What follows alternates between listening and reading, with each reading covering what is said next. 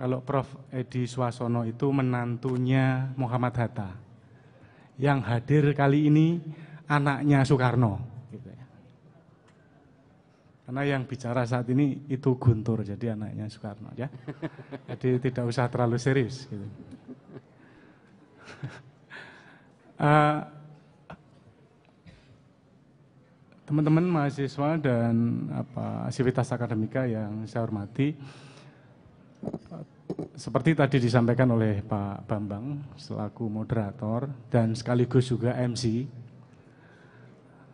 bahwa uh, kondisi atau ada first major sehingga Prof yang sedianya pagi hadir di sini tapi terkendala karena banjir. Dan sebentar lagi beliau akan hadir di ruangan ini bersama dengan kita. Tetapi uh, untuk menuju ke arah sana, saya kepingin menyampaikan beberapa hal yang yang seperti tadi disampaikan oleh Pak Bambang, hubungannya dengan uh, dunia akademik. Salah satu dari aktivitas akademik itu adalah tulis menulis atau juga karya seni. Uh, bahwa di dalam menulis baik untuk mahasiswa maupun dosen, untuk berkarya seni baik mahasiswa maupun dosen, eh, ada regulasi yang harus dipahami dan juga dilaksanakan. Satu hal yang yang dianggap krusial di kalangan perguruan tinggi itu adalah eh, ada satu uh, pantangan terjadinya plagiasi.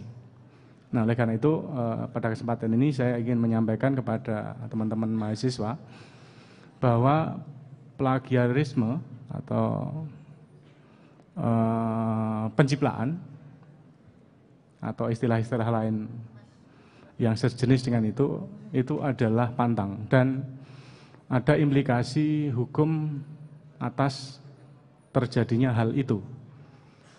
Uh, pencegahan dan penanggulangan plagiasi ini adalah surat edaran uh, Direktur Jenderal Pendidikan Tinggi yang bernomor 153 tahun 2012.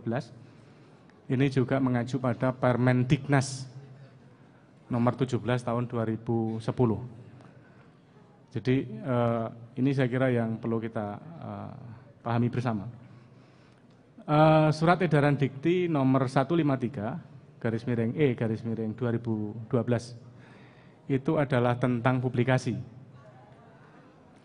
Ini dulu pernah diramaikan uh, uh, oleh DPR bahkan. Jadi sejak 2012 bulan Agustus lulusan perguruan tinggi wajib menerbitkan karya ilmiah dengan ketentuan sebagai berikut. Untuk yang mahasiswa S1 menghasilkan makalah atau publikasi ilmiah yang diterbitkan di jurnal ilmiah. Jadi jurnal ilmiah ini jurnal e, nasional tetapi tidak terakreditasi. Untuk mahasiswa S1 itu boleh. Oleh karena itu, e, meskipun ini ramai dulu oleh DPR, dianggap memberatkan dan lain sebagainya, tetapi eh, apa namanya ini adalah atmosfer akademik atas eh, kinerja ilmiah kita. Oleh karena itu eh, untuk mahasiswa S1 tetap nanti mempublikasikannya. Bagi mahasiswa S2 makalah atau publikasi ilmiahnya harus di jurnal nasional terakreditasi. Jadi uh, direktur Direktorat Jenderal Pendidikan Tinggi itu punya uh, list atau daftar jurnal nasional terakreditasi. Di uh, Sipadu itu juga kita sudah sampaikan daftar jurnal uh, nasional terakreditasi. Jurnal Nasional Terakreditasi itu selalu diupdate di setiap semester. Jadi nanti ada periode pertama, periode kedua dalam satu tahun. Selanjutnya untuk mahasiswa S3 ini harus jurnal ilmiah internasional. Jurnal ilmiah internasional ini ada uh, levelitasnya. Jurnal ilmiah internasional yang artinya terindeks apakah Copernicus atau yang lain-lain, Google Scholar dan lain sebagainya sampai yang Scopus. Jadi ini eh, tetapi setidak-tidaknya jurnal ilmiah internasional. Jadi yang tidak terindeks Scopus itu juga bisa. Nah, penulisan karya ilmiah jadi yang dimaksud eh, karya ilmiah itu apa? Karya Oh, ternyata di atas ini juga penuh ya. Jadi Pak Bambang tadi itu takut sudah menjanjikan 500 mahasiswa yang akan hadir. Saya kira ini uh, lebih. Ya? Iya. Saya kira lebih. Di atas itu ternyata juga penuh balkonnya. Uh, karya adalah hasil karya akademik atau non akademik. Uh, maksudnya karya seni dan lain-lain, desain dan lain-lain. Walaupun itu juga ilmiah juga uh, oleh orang per orang, kelompok atau badan di luar perguruan tinggi, baik yang diterbitkan, dipresentasikan maupun dibuat dalam bentuk tertulis atau juga dalam bentuk karya seni atau desain.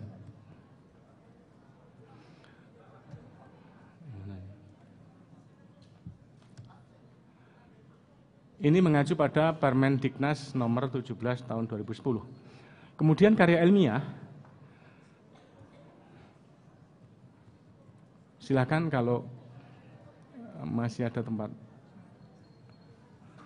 Di sebelah sayap kiri ini masih ada kursi yang belum terisi, kecuali terisi tas. Jadi tasnya bisa dipangku.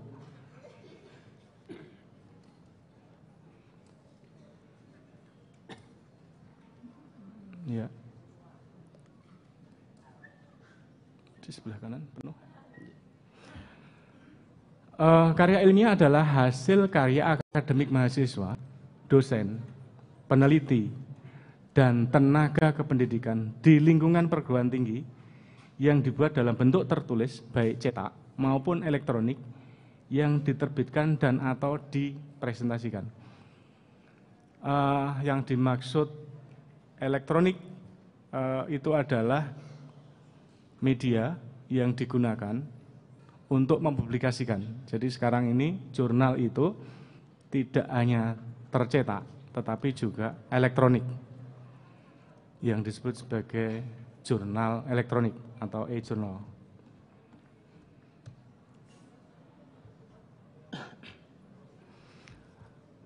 Di dalam penulisan karya ilmiah kita juga mengenal yang namanya gaya selingkung adalah sebuah pedoman tentang tata cara penulisan atau pembuatan karya ilmiah yang dianut oleh bidang ilmu, kemudian teknologi dan seni. Jadi punya kaidah masing-masing.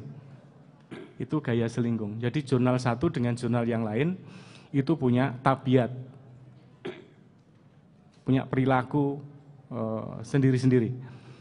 Oleh karena itu kalau kita nanti submit atau meng, hendak mempublikasikan, maka sesuaikan dengan template dari masing-masing jurnal karena masing-masing jurnal punya karakteristik penulisannya masing-masing.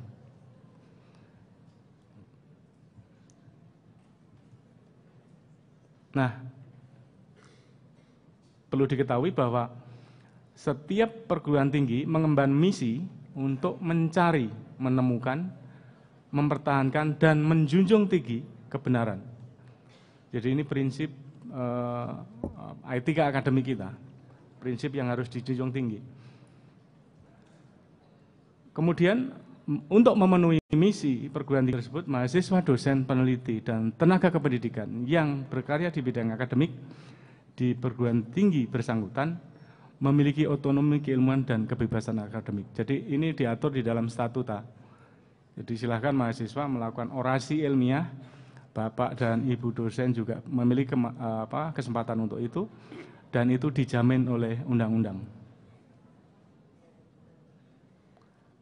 Dalam melaksanakan otonomi keilmuan dan kebebasan akademik, mahasiswa, dosen, peneliti, dan tenaga kependidikan wajib menjunjung tinggi kejujuran dan etika akademik. Oleh karena itu dilarang melakukan uh, praktek plagiasi atau plagiat. Nah, apa pengertian plagiasi? Itu banyak sekali pengertiannya. Yang salah satunya yang paling sederhana adalah ketika seseorang mengklaim milik dirinya atas karya orang lain. Jadi sederhananya karya orang lain tetapi diklaim miliknya. Bagaimana praktek mengklaimnya? Pada ketika uh, seseorang melakukan, uh, seseorang dikatakan mengklaim sebagai miliknya pada ketika seseorang melakukan kutipan, melakukan kopi, melakukan imitasi terhadap karya orang lain, tetapi tidak disebutkan sumbernya. Jadi seolah-olah pemikiran atau gagasannya itu milik dirinya sendiri. Kemudian tidak menggunakan sitasi yang tepat. Jadi kutipan yang benar itu tidak dilakukan. Nanti ada contoh bagaimana uh, praktek itu. Nah, apa uh, plagiat itu?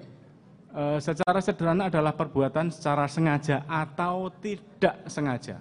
Jadi yang tidak disengaja pun masuk di dalam kategori plagiat jika memenuhi syarat, yaitu dalam memperoleh atau mencoba memperoleh kredit atau nilai. Jadi kalau kalau mahasiswa untuk lulus, kalau dosen untuk kenaikan pangkat dan lain sebagainya.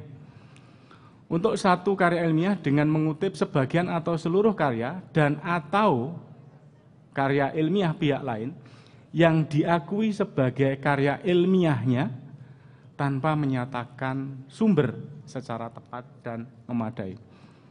Oleh karena itu eh, mahasiswa eh, di dalam metode penelitian itu diberi cara bagaimana melakukan kutipan. Itu adalah metode bagaimana mencegah uh, plagiarisme. Nah, pelaku dari praktek plagiasi itu adalah plagiator. Siapa yang termasuk di dalam plagiator itu bisa orang per orang atau kelompok orang yang melakukan praktek plagiasi masing-masing bertindak untuk dirinya sendiri, untuk kelompok dan atas nama satu badan. Ini juga praktek uh, praktisi plagiasi. Ini disebut sebagai plagiator. Nah, bagaimana mencegah plagiasi? Oleh karena itu kita seluruhnya berusaha untuk mencegah dilakukannya praktek uh, plagiasi atau praktek plagiat. Perguruan tinggi bertanggung jawab untuk itu dan nanti ada saya sampaikan juga mekanismenya seperti apa. Kalau itu terjadi plagiasi atau dicemarkan karena plagiasi. Ini penanggulangan plagiasi. Jadi kalau tadi pencegahan itu prevent, mencegah, preventif, tindakan preventif, maka kemudian ada juga upaya melakukan penanggulangan yang itu dilakukan dengan e, memberi tindakan punishment. Jadi penanggulangan plagiat adalah tindakan represif, jadi melakukan tekanan yang dilakukan oleh pimpinan perguruan tinggi dengan menjatuhkan sanksi kepada plagiator di lingkungan perguruan tingginya dengan tujuan mengembalikan kredibilitas akademik perguruan tinggi yang bersangkutan. Jadi perguruan tinggi itu harus menjunjung tinggi uh, kredibilitas akademik. Kalau tidak terjadi, diduga melakukan praktek plagiasi tetapi tidak, perguruan tinggi wajib melakukan rehabilitasi atau pemulihan nama baik. Ini adalah kategorisasi plagiarisme. Ada plagiarisme yang tidak disengaja.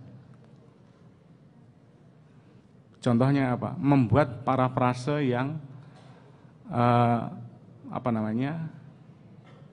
yang eh, yang padat tetapi struktur kalimatnya sama. Kemudian yang kedua adalah mencantumkan kutipan tidak lengkap.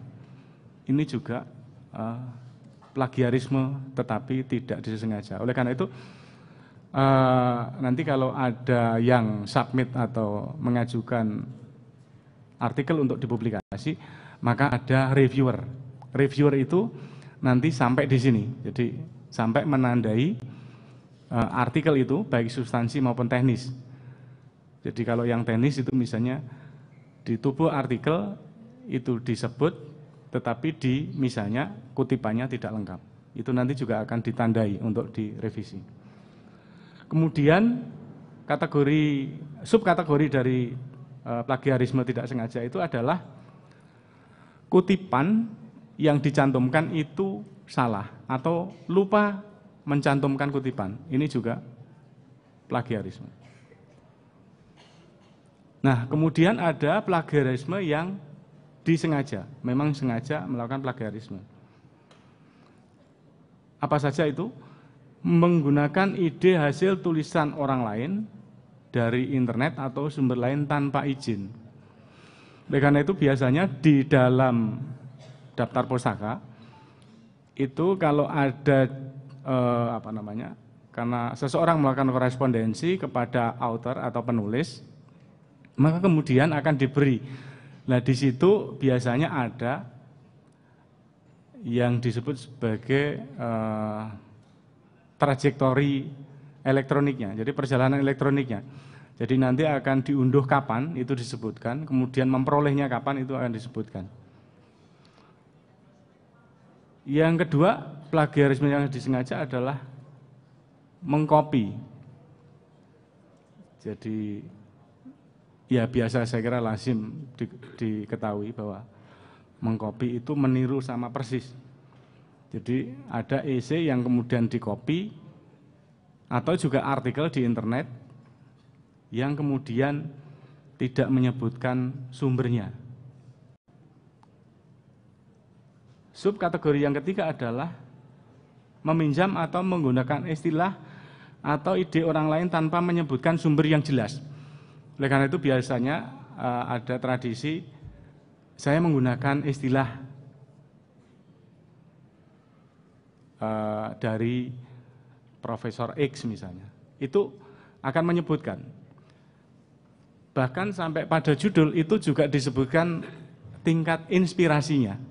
Jadi kemudian ada judul yang uh, judul tulisan yang menginspirasi itu judulnya juga uh, pengarang juga uh, wajib menyampaikan terinspirasi oleh. Nah, itu biasanya seperti itu. Boleh itu. Uh, ini adalah contoh bagaimana praktek plagiarisme. Yang merah itu adalah tulisan aslinya, kemudian yang di bawah itu kemudian mencoba membuat parafrase, tetapi kemudian hanya mengganti beberapa. Jadi kalau di eh, di kalimat yang pertama di angka satu itu kita kemudian ditambahkan kita di sini. Kemudian kalimat berikutnya walaupun mimpi kita ya masih sama tetapi kemudian di akhir menjelang akhir kalimat bagi para sivitas akademika kita itu ditambahkan untuk eh, apa me, ya untuk memanipulasi. Jadi ini eh, yang terjadi eh, kalau analisis kalimat eh, apa namanya sebagai contoh. Nah ini ruang lingkup eh, dan pelaku. Tadi sudah saya sampaikan bahwa di Permendiknas 17 2012 bab 2 pasal 2 menyebutkan bahwa lingkup plagiat meliputi tetapi tidak terbatas. Artinya Yang ini yang ditetapkan, tetapi juga mungkin yang lain-lain, gitu pengertiannya. Tetapi tidak terbatas pada itu artinya dimungkinkan juga yang lain-lain. Uh, huruf A mengacu dan atau mengutip istilah, kata-kata dan atau kalimat, data dan atau informasi dari sumber tanpa menyebutkan sumber dalam catatan kutipan dan atau tanpa menyebutkan sumber secara memadai. Uh, yang yang sangat mungkin terjadi misalnya uh, dosen itu membimbing pada mahasiswa di dalam uh, di dalam usaha mempublikasikan itu penulis pertamanya mahasiswa. Jadi penulis keduanya dosen. Tetapi karena karena saking saking dermawannya mahasiswa, maka kemudian datanya mahasiswa dipakai oleh dosen tanpa izin. Itu enggak boleh. Jadi kalau ada data dari mahasiswa yang digunakan, maka harus juga izin. Karena yang melakukan riset itu mahasiswa. Ya. Jadi tidak bisa semena-mena, oh ini bimbingan saya, maka bisa saya kooptasi, saya pakai, enggak bisa. Jadi itu nanti akan satu saat akan ketahuan pada ketika datanya tampil di tulisannya mahasiswa, tapi kemudian ada paper atau artikel yang ditulis oleh dosen pembimbingnya yang satu saat akan ketemu. Kemudian yang huruf B mengacu dan atau mengutip secara acak istilah, kata-kata dan atau kalimat, data dan atau informasi dari satu sumber tanpa menyebutkan sumber dalam catatan kutipan dan atau menyatakan sumber acuan e, secara memadai. Jadi kalau tadi tidak acak, tetapi yang ini acak.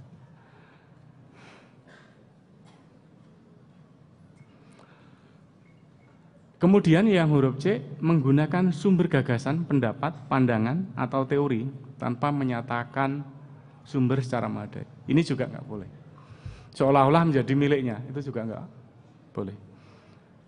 Bahkan pada level gagasan sekalipun, jadi satu saat teman-teman mahasiswa itu akan menjumpai judul artikel atau judul buku satu sama dengan judul buku yang lain.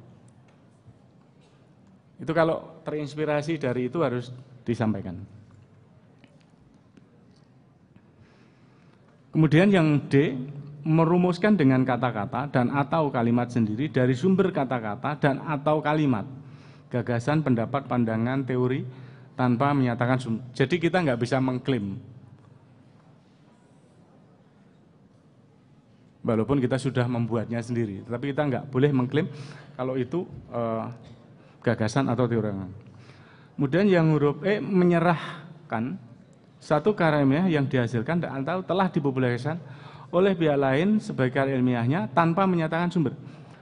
Jadi menyerahkan satu karya ilmiah yang dihasilkan dan atau telah dipublikasikan oleh karena itu teman-teman nanti satu saat kalau mau mempublikasikan uh, artikelnya di jurnal, maka tidak boleh satu artikel itu kemudian diusulkan untuk dipublikasikan ke beberapa jurnal. Itu nggak boleh.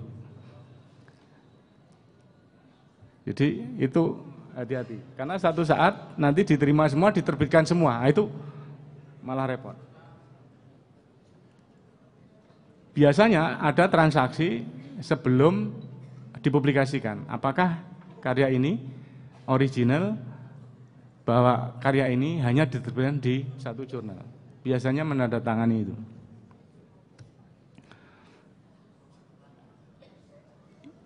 Ini kita bicara tentang sumber. Apa sih yang dimaksud dengan sumber?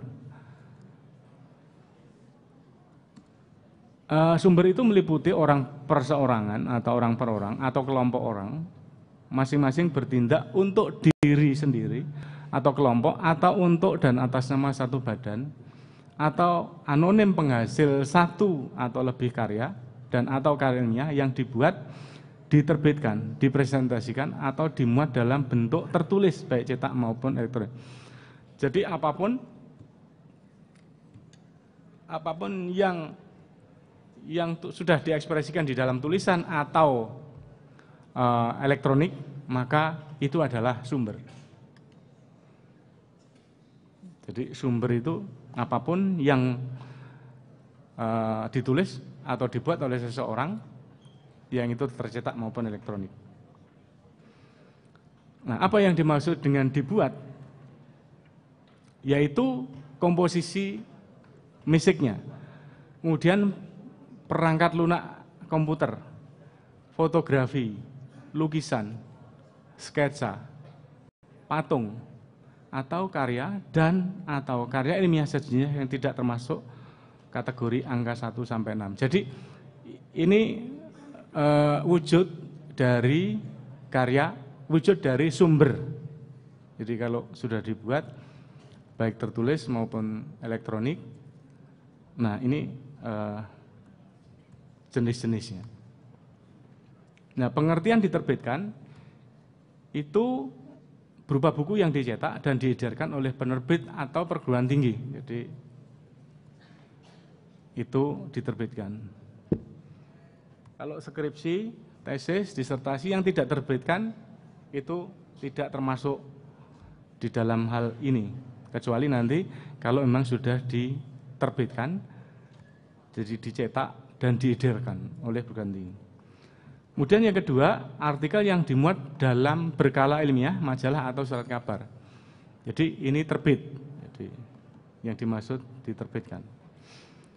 Kemudian yang dimaksud diterbitkan berikutnya adalah kertas kerja atau makalah profesional dari organisasi tertentu. Jadi misalnya eh, teman-teman mahasiswa eh, diundang untuk presentasi di eh, perguruan tinggi lain atau di tempat lain. Itu adalah Eh, kertas kerja. Kemudian yang dimaksud diterbitkan itu adalah ada isi laman elektronik atau hasil karya dan atau ilmiah yang tidak termasuk pada kategori 1 sampai dengan 4. Jadi itu eh, contohnya pameran misalnya. Itu juga diterbitkan. Jadi eh, ada katalognya. Kemudian kalau di dalam eh, tari ada dance note-nya. Nah, ini yang dimaksud dipresentasikan itu adalah presentasi di depan kalayak. Baik itu umum maupun terbatas. Kemudian presentasi melalui radio, televisi, video, kemudian CD dan sejenisnya. Eh, YouTube misalnya. Kemudian bentuk atau cara lain sejenis yang tidak termasuk golongan satu dan dua. Mungkin teknologinya makin maju, ke depannya makin banyak uh, karya yang bisa dipresentasikan. Nah, yang dimaksud dimuat dalam bentuk tertulis itu adalah tercetak atau elektronik. Jadi sekarang ini buku atau artikel itu atau apa pun itu bisa dalam bentuk cetak maupun elektronik. Di uh, galeri yang memajang lukisan juga bisa virtual. Pernyataan sumber dianggap memadai apabila dilakukan dengan tata cara pengajuan dan pengutipan dalam gaya selingkung setiap bidang ilmu, teknologi, dan seni. Jadi masing-masing punya gayanya. Ini saya kira tadi uh, pelaku plagiator. Jadi saya kira saya lewati. Nah ini tempat dan waktu terjadinya praktek plagiasi. Jadi di lingkungan perguruan tinggi itu juga terjadi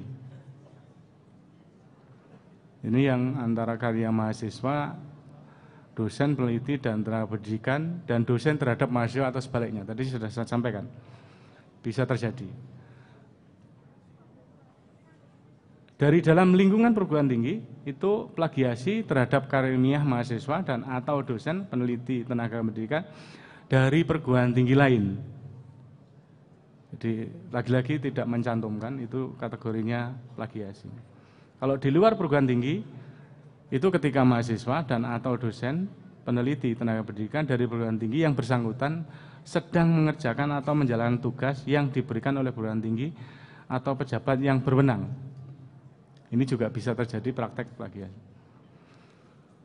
Nah ini bagaimana eh, mahasiswa dalam proses pembelajaran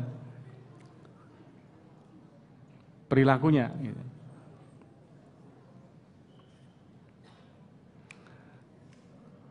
Tadi kalau ada tugas membuat paper biasanya biasanya loh ya. Ini mayoritas. Tidak seluruhnya. Itu biasanya ngopi di internet, di blog atau di apa gitu, kemudian dipindah. Itu proses pembelajaran. Sebetulnya ini jalan pintas yang kayaknya mudah dilakukan karena memang secara instan. Tetapi itu sebetulnya tidak membentuk kompetensi yang sesungguhnya. Jadi sebetulnya praktek itu dilakukan itu sebenarnya rugi bagi mahasiswa.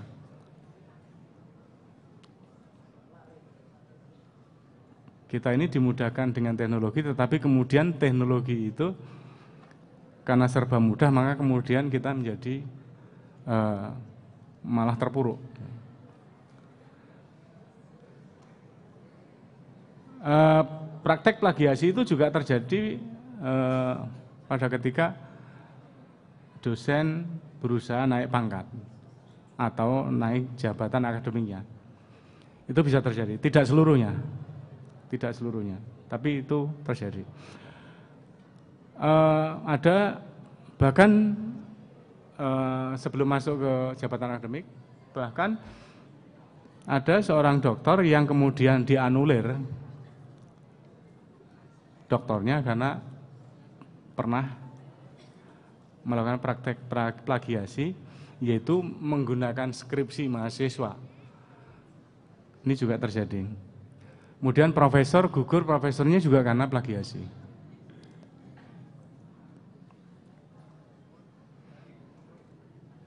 Ini saya kira uh, kemudian tindakan pencegahannya seperti apa?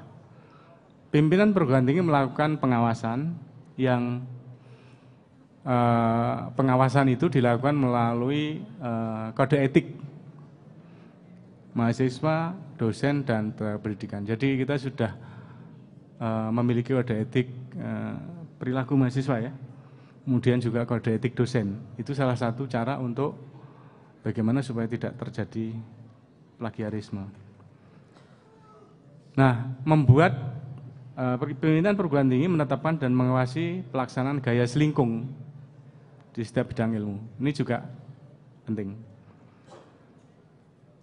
Nah, mendesiminasikan kode etik ini juga uh, penting baik mahasiswa, dosen maupun tenaga pendidikan.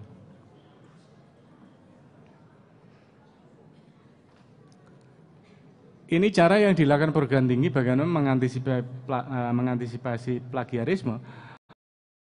Karya ilmiah itu penyusun harus menyantumkan karya ilmiah tersebut bebas plagiat. Jadi kalau eh, teman-teman mahasiswa besok itu akan menandatangani pernyataan bahwa eh, tidak melakukan plagiarisme. Nah, kemudian apabila di kemudian hari terbukti terdapat plagiat dalam karya ilmiah tersebut, maka penyusun penyusunnya bersedia menerima sanksi sesuai dengan ketentuan perundang-undangan. Jadi ini sudah dilakukan di uh, beberapa perguruan tinggi. Nah, yang perlu diketahui juga bahwa karya ilmiahnya supaya terhindar dari plagiarisme maka perlu uh, diunggah di dalam satu uh, sistem. Nah kalau di kita ini ada repositori, jadi repositori itu salah satu uh, untuk uh, wahana bagaimana karya ilmiah itu dipublikasikan sekaligus juga menjadi uh, instrumen pencegahan plagiarisme. tadi sudah sampaikan bahwa pada ketika submit atau mengajukan artikel untuk dipublikasikan biasanya ada peer review. Ya, peer review ini nanti akan uh, melakukan langkah-langkah pencegahan. Di, ini saya kira ada proses uh, bagaimana uh, yang penting uh, bagi mahasiswa adalah bahwa tidak melakukan uh, apa pengkopian uh, kemudian juga melakukan praktek citasi yang baik dan memadai yang benar dan memadai. Itu saya kira yang uh, penting bagi mahasiswa. Jadi uh, supaya terhindar dari uh, plagiarisme. Ini saya kira yang uh, yang dilakukan oleh uh, perguruan tinggi terhadap sanksi yang diberikan atau uh, merehabilitasi. Jadi ketika pelaku mahasiswa maka ada uh, pasal yang digunakan untuk me melakukan tindakan, apakah itu teguran, peringatan tertulis, penundaan pemberian sebagian hak mahasiswa, pembatalan nilai satu atau beberapa mata kuliah, pemberhentian dengan hormat dari status sebagai mahasiswa, kemudian pemberhentian tidak dengan hormat, pembatalan ijazah bagi mahasiswa yang telah lulus. Jadi ini adalah sanksi eh, apa jenjang sanksinya. Eh, perguruan tinggi juga bisa menambah sanksi lainnya. Di dalam Undang-Undang eh, Pendidikan Sistem Pendidikan Nasional yang eh, mengatur tentang praktek eh, sanksi plagiarisme, mempergunakan kalimah jiplakan untuk memperoleh gelar akademik, profesi, vokasi, dipidana penjara paling lama 2 tahun dan atau denda paling banyak 200 juta. Jadi eh, saya kira itu eh, apa namanya peringatan yang tidak perlu kita lakukan. Jadi pimpinan perguruan tinggi itu bisa melakukan peringatan baik lisan maupun tertulis atau bahkan uh, pemecatan. Itu yang bisa sampaikan. Terima kasih. Ya. Uh, Mudah-mudahan itu menjadi pegangan kita dan selanjutnya saya kira Eh, nggak usah dialog ya karena waktu. Kemudian saya kembalikan kepada Pak Moderator, Pak Bambang. Nanti setelah itu Pak Bambang saya moderatori gitu ya. Itu saya kira uh, efisiensi job uh, saya kira. Demikian terima kasih. Assalamualaikum warahmatullahi wabarakatuh.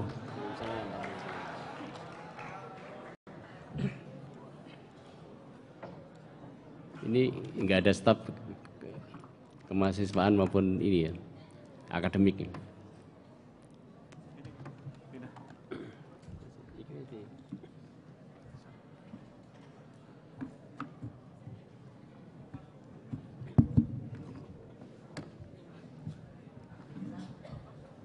Uh, sekarang saya posisinya menjadi moderator.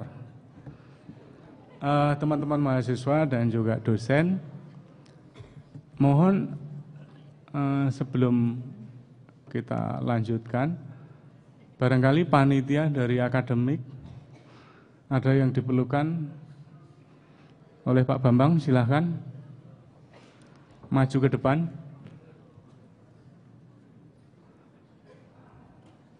Halo, Pak Biro Akademik.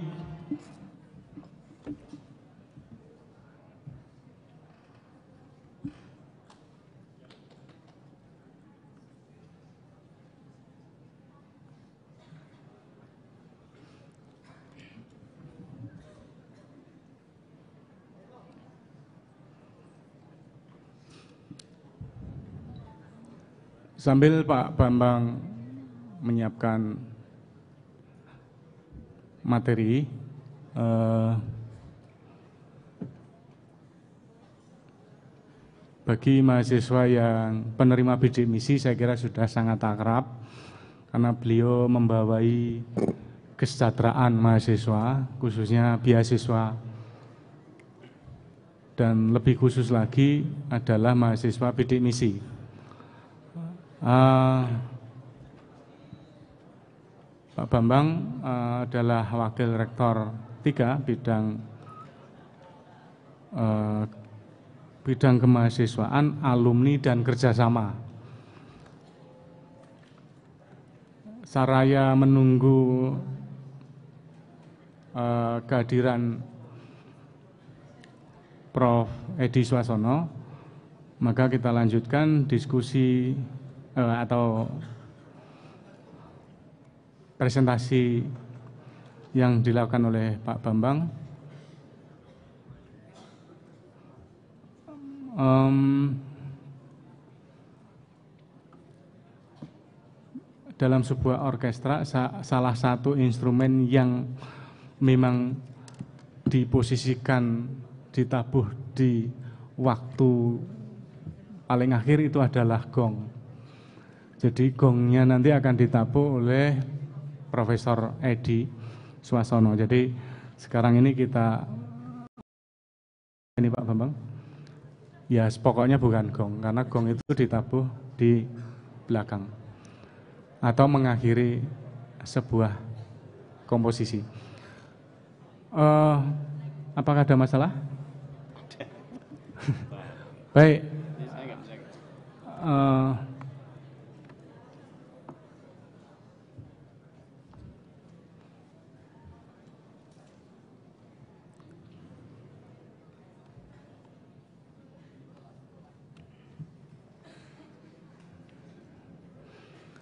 Jadi agak unik ini laptopnya Pak Bambang kalau sudah dimasukkan konektornya itu yang screen yang besar itu menyala tetapi screen laptopnya enggak menyala.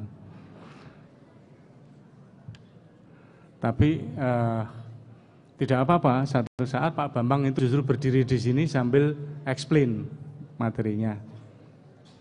Oh sudah kelihatan semua? Oh iya, sudah kelihatan semua. Uh, saya kira uh, kita beri waktu sepenuhnya kepada Pak Bambang. Uh, dipersilahkan, monggo.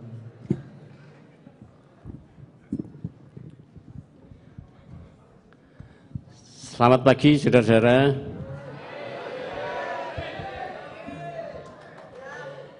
Uh, saya senang hari ini kita bisa berkumpul waktu saya ditanya oleh Prof. Edi, Mas berapa yang akan hadir? Saya waktu itu bilang, waduh bisa menghadirkan mahasiswa 500 enggak ya? Saya bilang 500 Prof. Kalau 500 itu berarti eh, apa ruangan kita yang di bawah ini, ini penuh. Gitu.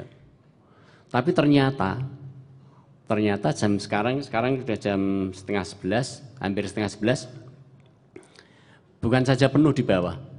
Di atas itu juga ternyata saudara-saudara kita, mahasiswa kita itu juga memenuhi balkon atas. Terima kasih saudara-saudara mahasiswa. Ini menunjukkan bahwa ada semangat akademik yang bisa diharapkan. Tepuk tangan untuk mahasiswa isi Surakarta.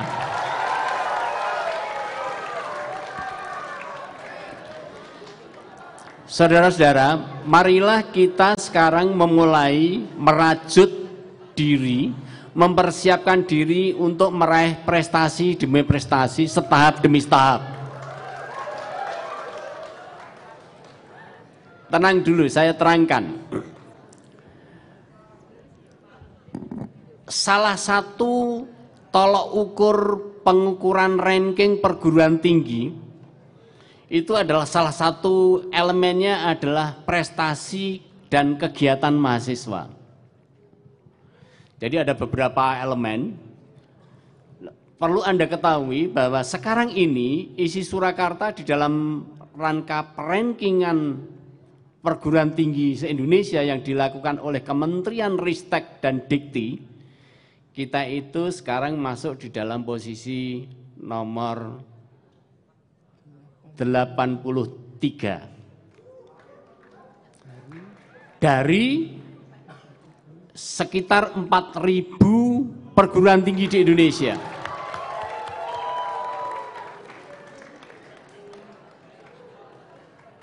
Kalau melihat semangat saudara-saudara, bisa jadi kita bisa berharap mahasiswa nanti akan menyumbang nilai yang cukup tinggi.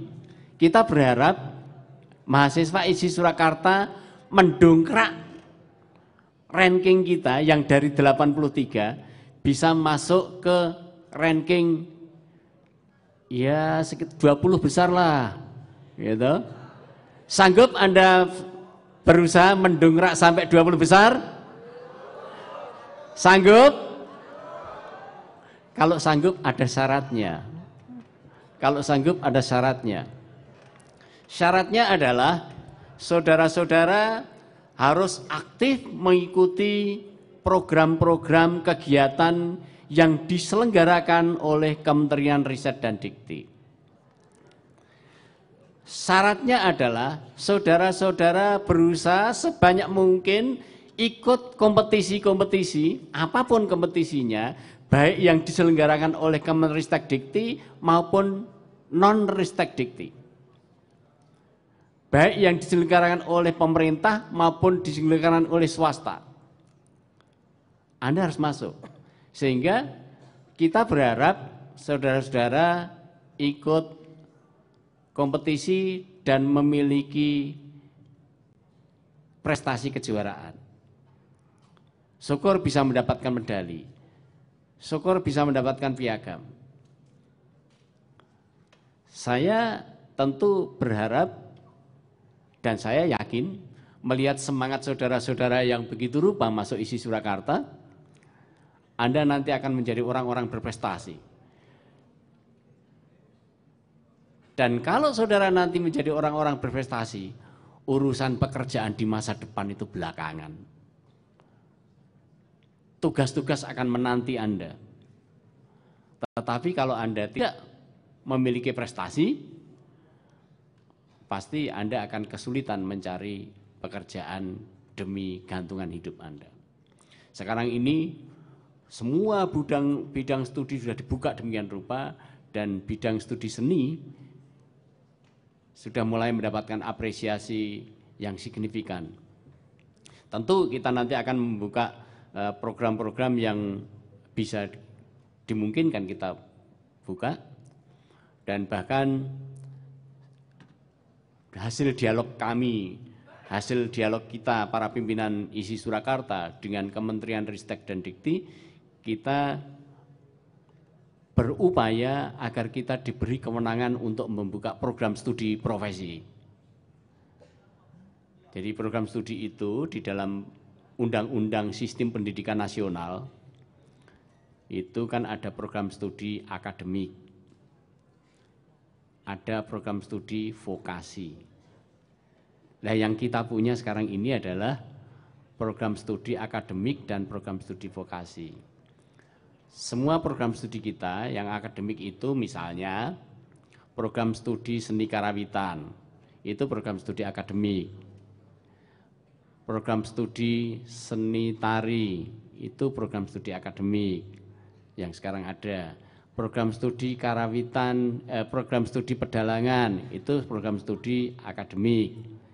Program studi etnomusikologi, akademik program studi teater yang sekarang ada, itu program studi akademik.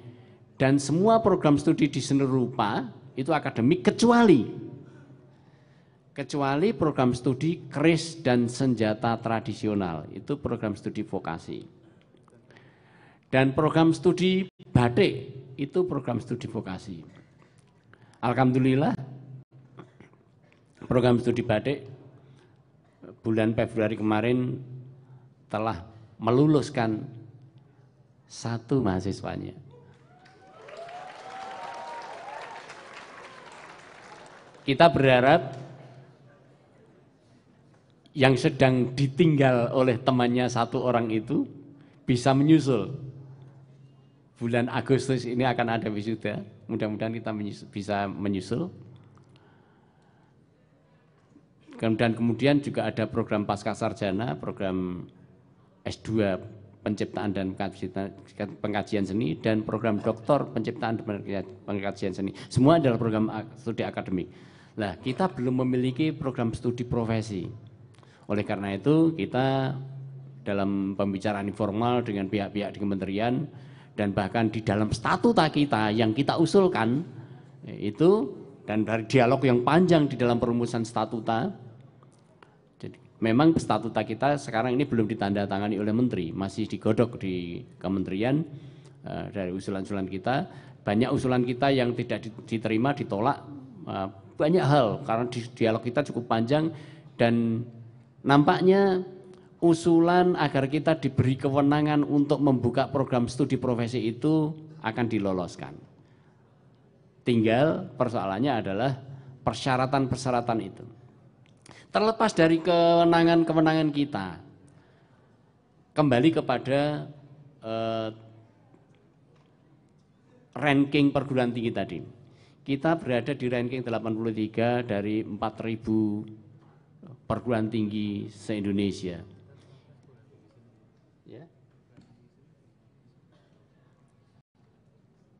Kalau kita melihat ranking kita di antara perguruan tinggi seni se-Indonesia, dari sembilan perguruan tinggi seni, kita berada pada ranking yang teratas.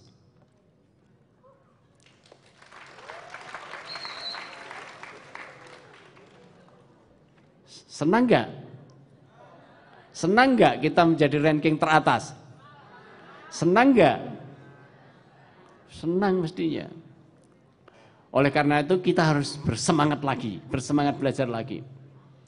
Nah, oleh karena itu kita agar kita punya sumbangan nyata, agar kita ranking kita naik, kemungkinan bisa menjadi masuk ke 50 besar.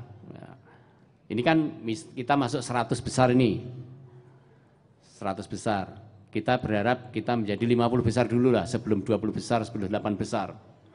Karena lawan tanding kita perguruan-perguruan tinggi besar yang hebat-hebat. Lawan tanding kita itu ITB, IPB, ITS, UGM, UI, UNS yang mereka sudah memiliki program studi puluhan UNS itu jumlah mahasiswanya aja sudah 50 ribu. Sementara kita jumlah mahasiswa kita itu baru sekitar 2.500. 2.500 hanya eh, kita punya 15 program studi dengan S2 dan S3. Jadi kecil. UNS dengan 50 ribu mahasiswa banyak program studinya dan program studinya itu adalah program studi-program studi yang berbiaya mahal. Biaya mahal di sana. Jadi kuliah di UNS itu cukup cukup besar e, biayanya. Anda bisa hitung. Dia UNS memiliki dana PNBP, pendapatan negara bukan pajak. Itu cukup besar dari mahasiswa. Kalau biaya UKT mahasiswa ini kita kumpulkan, perbandingan antara isi Surakarta dengan UNS jauh berbeda. Kalian kan taruhlah 2.500 mahasiswa. UKT kita rata-rata berapa Pak Mar? UKT kita? Iya, rata-rata UKT kita. Ya, rata-rata UKT kita itu 2 juta 750 rata-rata. Itu kalau dikalikan 2000 mahasiswa dibandingkan yang UNS jauh sekali. Maka kesejahteraan ketika mereka apa kesejahteraan masyarakat di UNS juga lebih baik di sana. Ketika mereka menyelenggarakan kegiatan, dana itu banyak. dan dari jumlah 50 ribu mahasiswa tidak semua minta minta dana untuk melakukan kegiatan. Beda dengan isi Surakarta, jumlah mahasiswa yang membayar 2000 mahasiswa dan rata-rata mereka membutuhkan eh, dana kegiatan. Terutama saya hampir setiap saat dimintai bantuan eh, baik yang melalui program studinya, baik melalui akhirnya kita bikin kesepakatan bahwa eh, program-program kegiatan mahasiswa yang mendukung kegiatan profesi mahasiswa itu didanai oleh fakultas tapi kegiatan-kegiatan mahasiswa yang untuk mendukung program-program ko dan ekstrakurikuler itu didanai oleh institut. Ini hal penting. Saya ingin saudara-saudara mengerti bagaimana caranya agar saudara-saudara berprestasi. Di kementerian itu ditawarkan program kegiatan yang cukup banyak sebenarnya. Ada MTQ mahasiswa nasional. Ini seumur-umur isi Surakarta, mahasiswa isi Surakarta belum ada yang masuk MTQ nasional. Ya enggak apa-apa, tapi tentu kita bisa berharap bisa berharap ada mahasiswa yang ikut MTQ nanti. Memang eh, di program MTQ itu cabang yang dilombakan banyak. Kalau cabang yang berhubungan dengan tahfidz Al-Quran itu pasti kita nggak bisa masuk, kalah lah pasti kita, gitu. Karena rata-rata mahasiswa kita yang hafidz ya tidak banyak. Sementara perguruan tinggi perguruan tinggi lain itu mereka punya program studi, uh, mereka punya program penerimaan mahasiswa baru begini. Bagi mahasiswa yang hafidz, eh, bagi calon mahasiswa atau siswa SMA yang hafidz 30 juz, itu sudah dicadangkan diterima di universitas. Asal ada bukti bukti bahwa yang bersangkutan hafidz Quran itu sudah diterima mahasiswa kedokteran UNS itu isinya para hafiz sama mahasiswa. Nah, kita belum punya program seperti itu. Belum punya program seperti itu. Beberapa waktu yang lalu saya sampaikan pada Bu Rektor, Bu Rektor tertawa. Saya nggak tahu maknanya tertawa. E, Mudah-mudahan, tapi saya melihat banyak mahasiswa kita yang uh, yang bersungguh-sungguh di dalam apa tafakuh fiddin gitu dalam bahasa agamanya. Uh, mereka wah ini kok. Wah ini kok begini.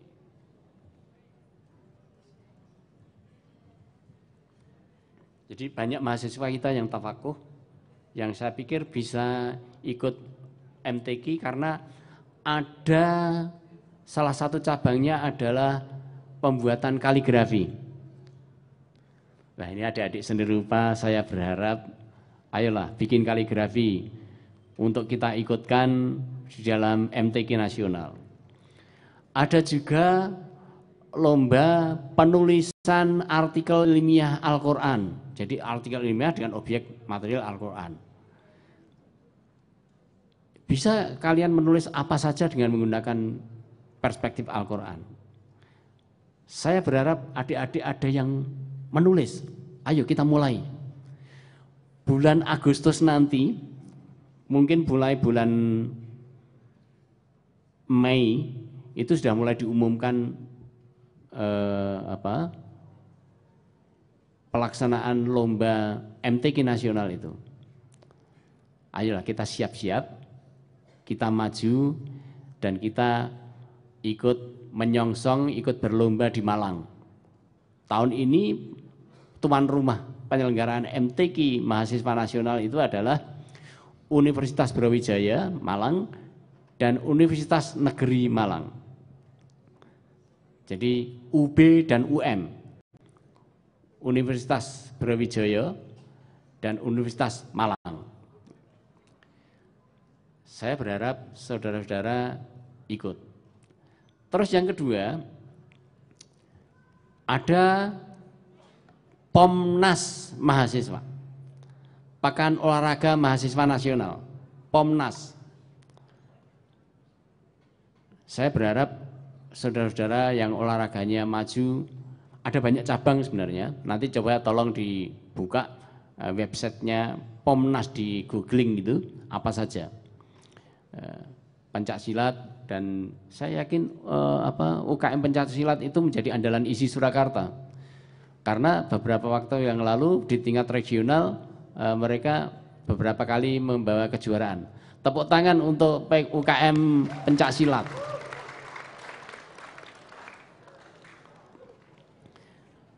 Terus yang penting adalah PIMNAS. PIMNAS. PIMNAS itu Pekan Ilmiah Nasional. Pekan Ilmiah Nasional tahun ini eh, akan berlangsung kemungkinan pada bulan Oktober. Nah, PIMNAS ini Lama juga isi Surakarta tidak ikut PIMNAS. Tetapi tahun kemarin di Bogor itu kita ada yang ikut. Alhamdulillah, isi Surakarta dengan jumlah mahasiswa 2.500 diwakili oleh tiga kelompok. Tapi ada universitas yang mahasiswanya 60 ribu itu hanya di 15 kelompok. Jadi kalau dihitung perbandingannya kita masih bersyukur.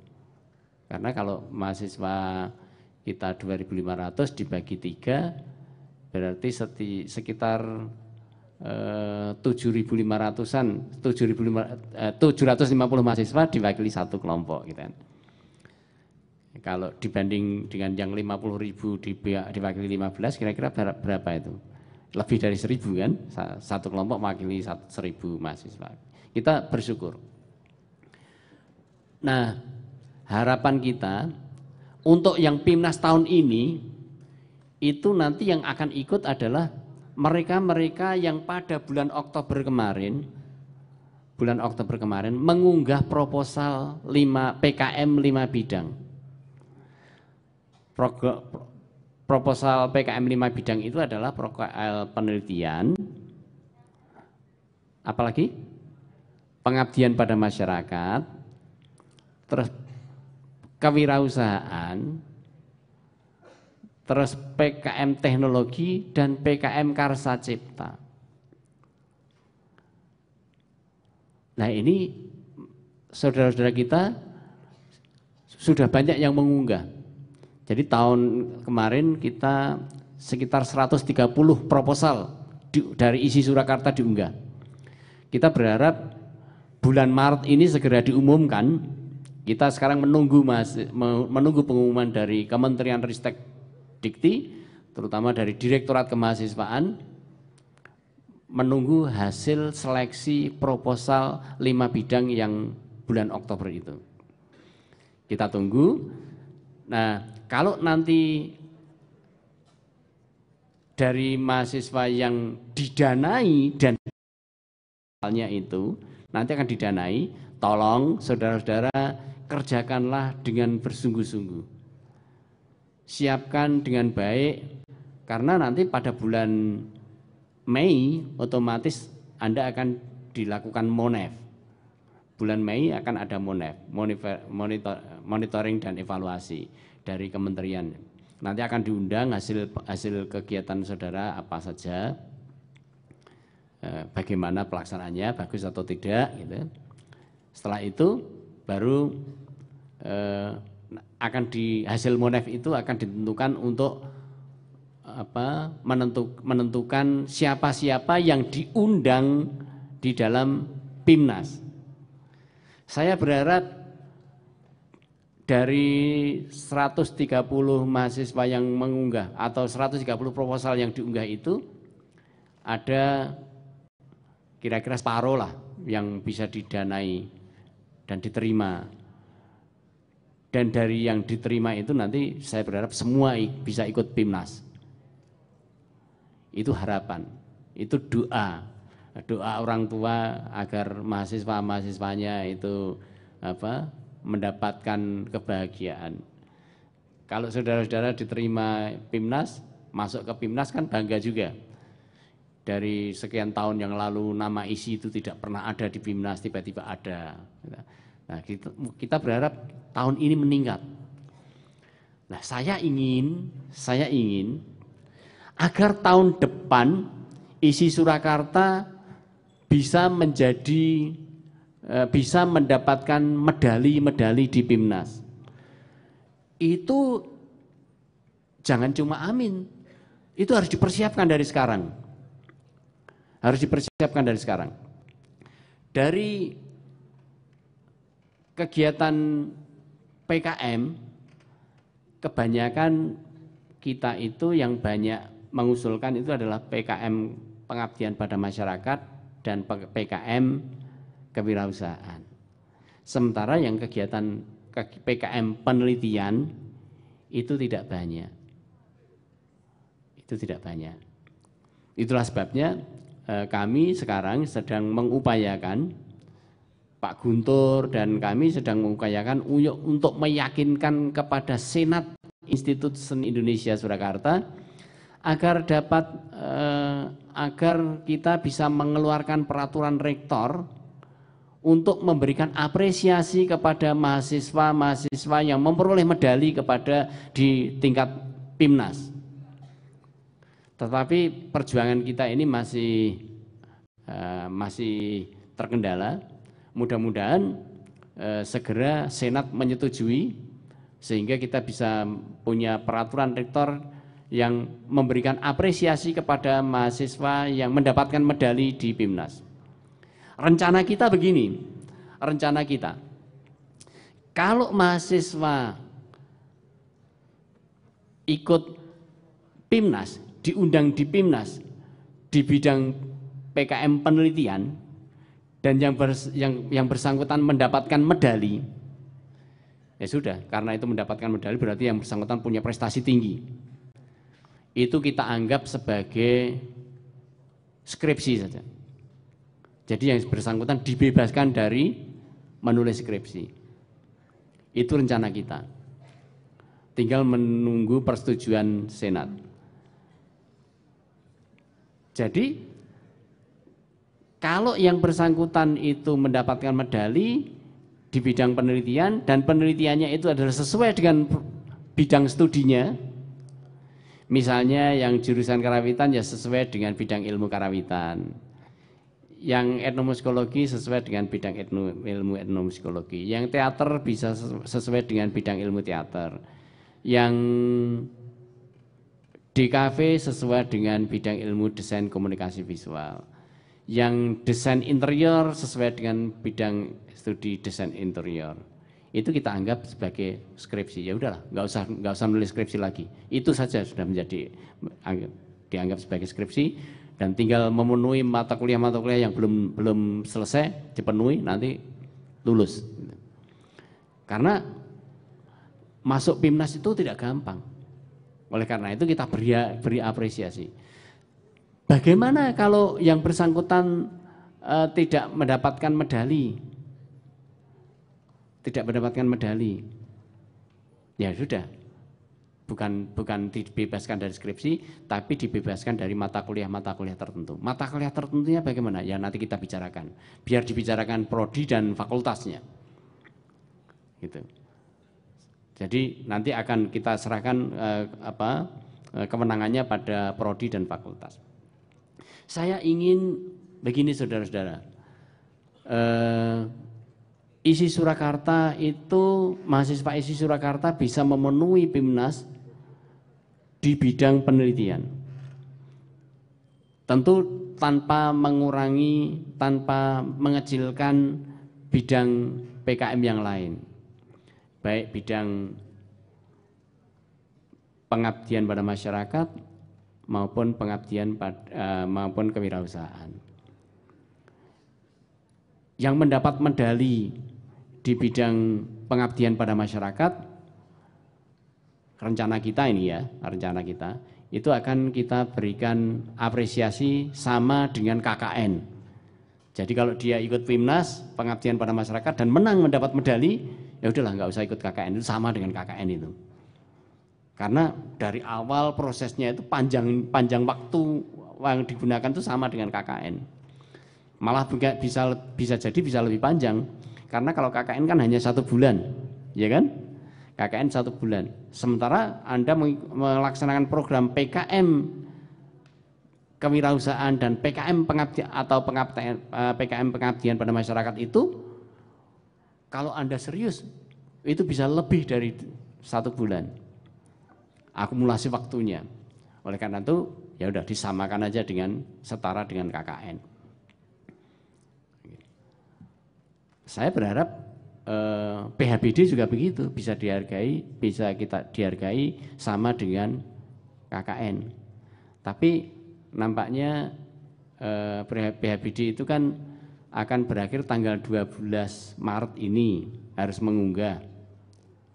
Tapi saya melihat eh, belum ada mahasiswa yang punya semangat untuk mengunggah proposal atau ngelamar kegiatan program PHBD. Program PHBD, tahu artinya PHBD? PHBD itu adalah program hibah bina desa.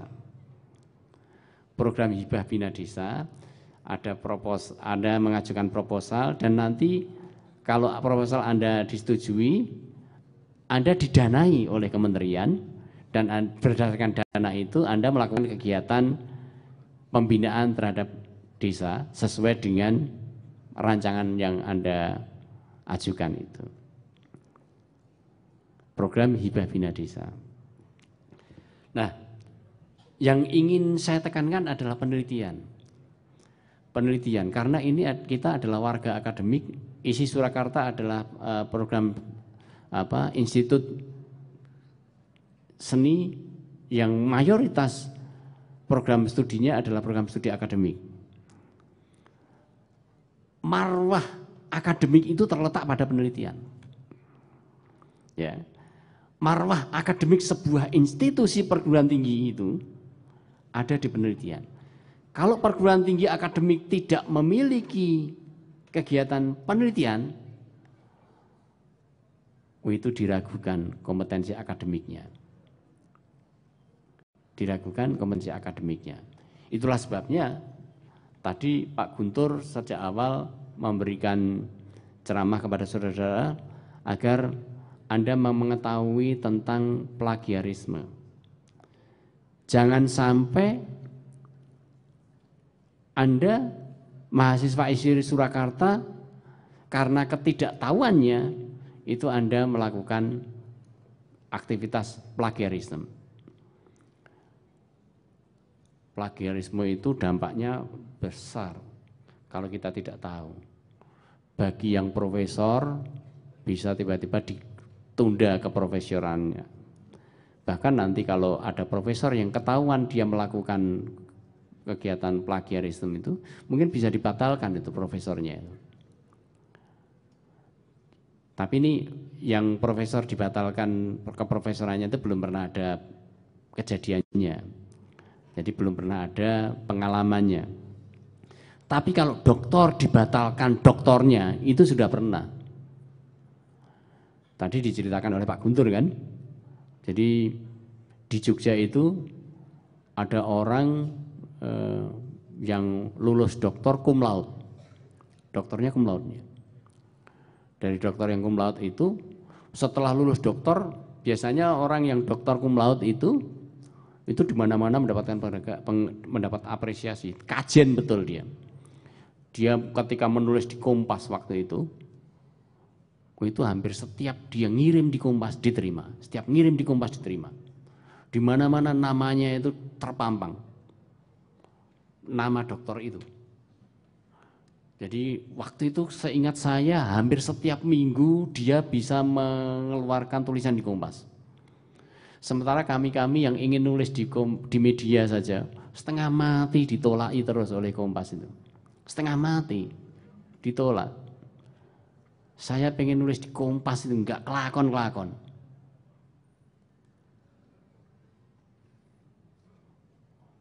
Terus ada juga teman yang uh, teman yang mengatakan cerita pada saya, lu nulis kompas itu gampang. Uh, saya nulis kompas seminggu sekali itu. Oh iya toh, kamu bisa nulis kompas seminggu sekali? Iya, ngisi TTS. ya, ya ngisi TTS ya gampang gitu. Tapi untuk menulis apa, membuat opini kemudian dimuat di kompas itu tidak gampang. Itu tadi yang saya ceritakan dokter yang akhirnya dibatalkan dokternya itu karena cum laude kan. Kompas pun juga terpana dengan prestasi semacam itu. Setiap nulis dimuat, nulis dimuat. Tapi akhirnya setelah dicek, diteliti, itu hasil tulisannya itu, hasil tulisan yang bersangkutan, itu adalah mengambil dari skripsi mahasiswa S1 di universitas yang sama. Wah, setelah itu mahasiswa oh bukan, bukan universitas yang sama. Dari Unair, Universitas Airlangga. Kemudian setelah eh, disertasinya itu dibaca orang di mana-mana gitu kan, penulis mahasiswa S1 itu otomatis dia yang, yang bersangkutan sudah lulus Unair ya membaca disertasi. Dulu ini kok sama dengan tulisan saya? Dibandingkan ternyata banyak yang akhirnya dilaporkan. Yang bersangkutan yang tulisannya dijiplak itu tadi itu ngelapor ke UGM ngelapor ke rektor UGM akhirnya disidang lah dilakukan persidangan akhirnya diputuskan bahwa gelar doktor atau kelulusan S3 yang bersangkutan dinyatakan batal demi hukum. Jadi ini pengalaman, pengalaman bagi kita bahwa kalau Anda sudah mendapatkan gelar itu bisa dibatalkan. Jadi nanti kalian-kalian yang sudah lulus S1 itu juga bisa dibatalkan.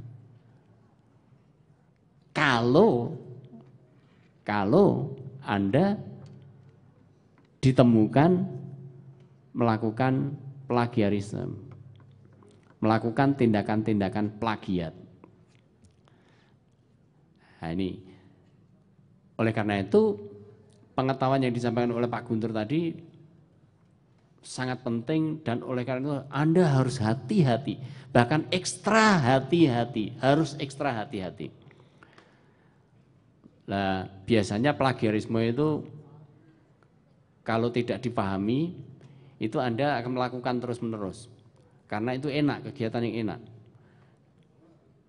Biasanya, nah ini yang yang sering terjadi, ini kan di dalam perkuliahan Anda sering copy paste gitu kan. Banyak itu mahasiswa yang copy paste dalam memenuhi tugas-tugas kuliah biasanya eh, para dosen itu kadang-kadang yang tidak punya waktu sempat waktu apa membaca keseluruhan itu eh, tidak tahu kalau yang hasil apa mahasiswanya itu adalah copy paste. Dibiarkan saja. Tapi itu biasanya kalau anda melakukan itu itu akan nanti akan menjadi kebiasaan. Oleh karena itu jangan lakukan itu. Jangan lakukan upayakan kalau dapat tugas dari dosen itu kerjakan sendiri sebisa mungkin. Karena itu adalah latihan bagi Anda. Tapi kalau Anda copy paste, yaitu Anda artinya sejak awal Anda sudah membunuh kompetensi Anda sendiri. Gitu? Anda sudah membunuh kemampuan Anda sendiri. Kalau Anda sudah membunuh kemampuan Anda sendiri, berarti Anda sudah mendeklarasi bahwa saya siap menjadi orang kalah. Kalau Anda mendeklarasi siap menjadi orang kalah, lah ngapain kuliah? Kan nggak ada gunanya kuliah. Wong nanti akan menjadi orang kalah. Seharusnya tidak begitu. Tugas-tugas kuliah itu Anda kerjakan dengan sungguh-sungguh, jelek ya rapopo. Dosen nanti akan mengapresiasi. LLSID pasti akan jerih payah itu akan di apa akan dihargai oleh dosen itu. Daripada anda wah kerjaannya bagus. Mahasiswa saya sering sekali melakukan kegiatan plagiarisme itu. Tapi biasanya saya kalau saya eh, saya saya upayakan saya cross mahasiswa-mahasiswa yang tugasnya itu mencurigakan gitu ya dalam pengumpulan tugasnya mencurigakan eh, saya cek di apa saya cek melalui internet saya cek internet, melalui internet kan ada ada alat ada software yang bisa membandingkan itu. Membandingkan kemudian saya bandingkan oh, saya, oh ternyata sumbernya dari sini dari sini oh, kelihatan. Biasanya mahasiswa kalau yang seperti itu eh, nilainya saya kurangi cukup signifikan. Karena biasanya mengumpul nilai kan sudah tidak tidak punya waktu lagi untuk bertemu dengan mahasiswa. Ya, karena biasanya eh, ini mengumpulkan tugas sesi terakhir dan perkuliahan sudah berakhir kan. Nah itu sudah tidak punya kesempatan bertemu mahasiswa lagi, yaitu nilainya. Nah saya melihat masih banyak mahasiswa yang apa yang melakukan copy paste itu, copy paste. Nah oleh karena itu saya minta jangan lakukan itu. Kembali ke persoalan PKM lagi kembali ke persoalan PKM, ayo kita persiapkan membuat proposal. Terutama yang masih semester 2 dan semester 4. Ini harus siap-siap ini. Harus siap-siap PKM supaya nanti eh, di tahun depan Anda bisa menjadi juara. Supaya tahun depan Anda bisa mendapatkan medali. Kalau mendapatkan medali kan Anda bangga. Di samping nanti akan menjadi hitungan bagi isi Surakarta mendokrak ranking isi Surakarta. Jadi saya harap mahasiswa semester 2 dan semester 4 atau semester 6 juga boleh siap-siap untuk membuat proposal PKM untuk tahun 2018. Untuk PIMNAS tahun 2018. Proposal itu yang kalau Anda siapkan dari sekarang, nanti diunggah pada bulan Oktober. Tetapi kalau tidak ingin masuk PIMNAS, Anda boleh mempersiapkan diri ikut PKM artikel ilmiah dan PKM GT. PKM artikel ilmiah dan PKM GT. Itu nanti diunggah pada bulan Februari. Nah, kalau Anda ikut PKM il, apa artikel ilmiah dan PKM GT itu tidak ikut apa? Tidak ikut PIMNAS tidak ikut PIMNAS, tapi nanti Anda akan mendapatkan hadiah uang. Hadiah uangnya cukup banyak. Ada 12 juta kalau nggak salah. 12 oh 12 setengah juta. 12 setengah juta. Ya lumayan toh kalau Anda eh, bisa mendapatkan eh, PKM AI dan PKM GT dapat 12 setengah juta itu kan bisa untuk menyelesaikan studi juga, gitu. bisa membantu orang tua meringankan beban, gitu. gitu.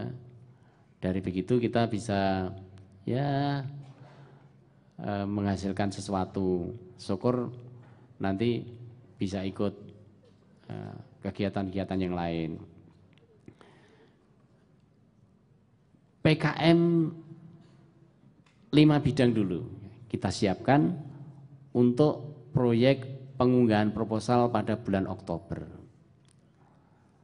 Saya sebenarnya sudah minta kepada eh, bapak-bapak kaprodi untuk membantu adik-adik mahasiswa mempersiapkan diri. Ya, membantu mahasiswa mempersiapkan diri menyusun proposal itu. Saya ingin kenalkan dulu eh, PKM penelitian. PKM bidang penelitian ini perlu Anda ketahui adalah program kreativitas mahasiswa yang terbagi menjadi dua kategori. Jadi nanti Anda dipisah kelompoknya menjadi kelompok penelitian bidang eksakta atau PKMPE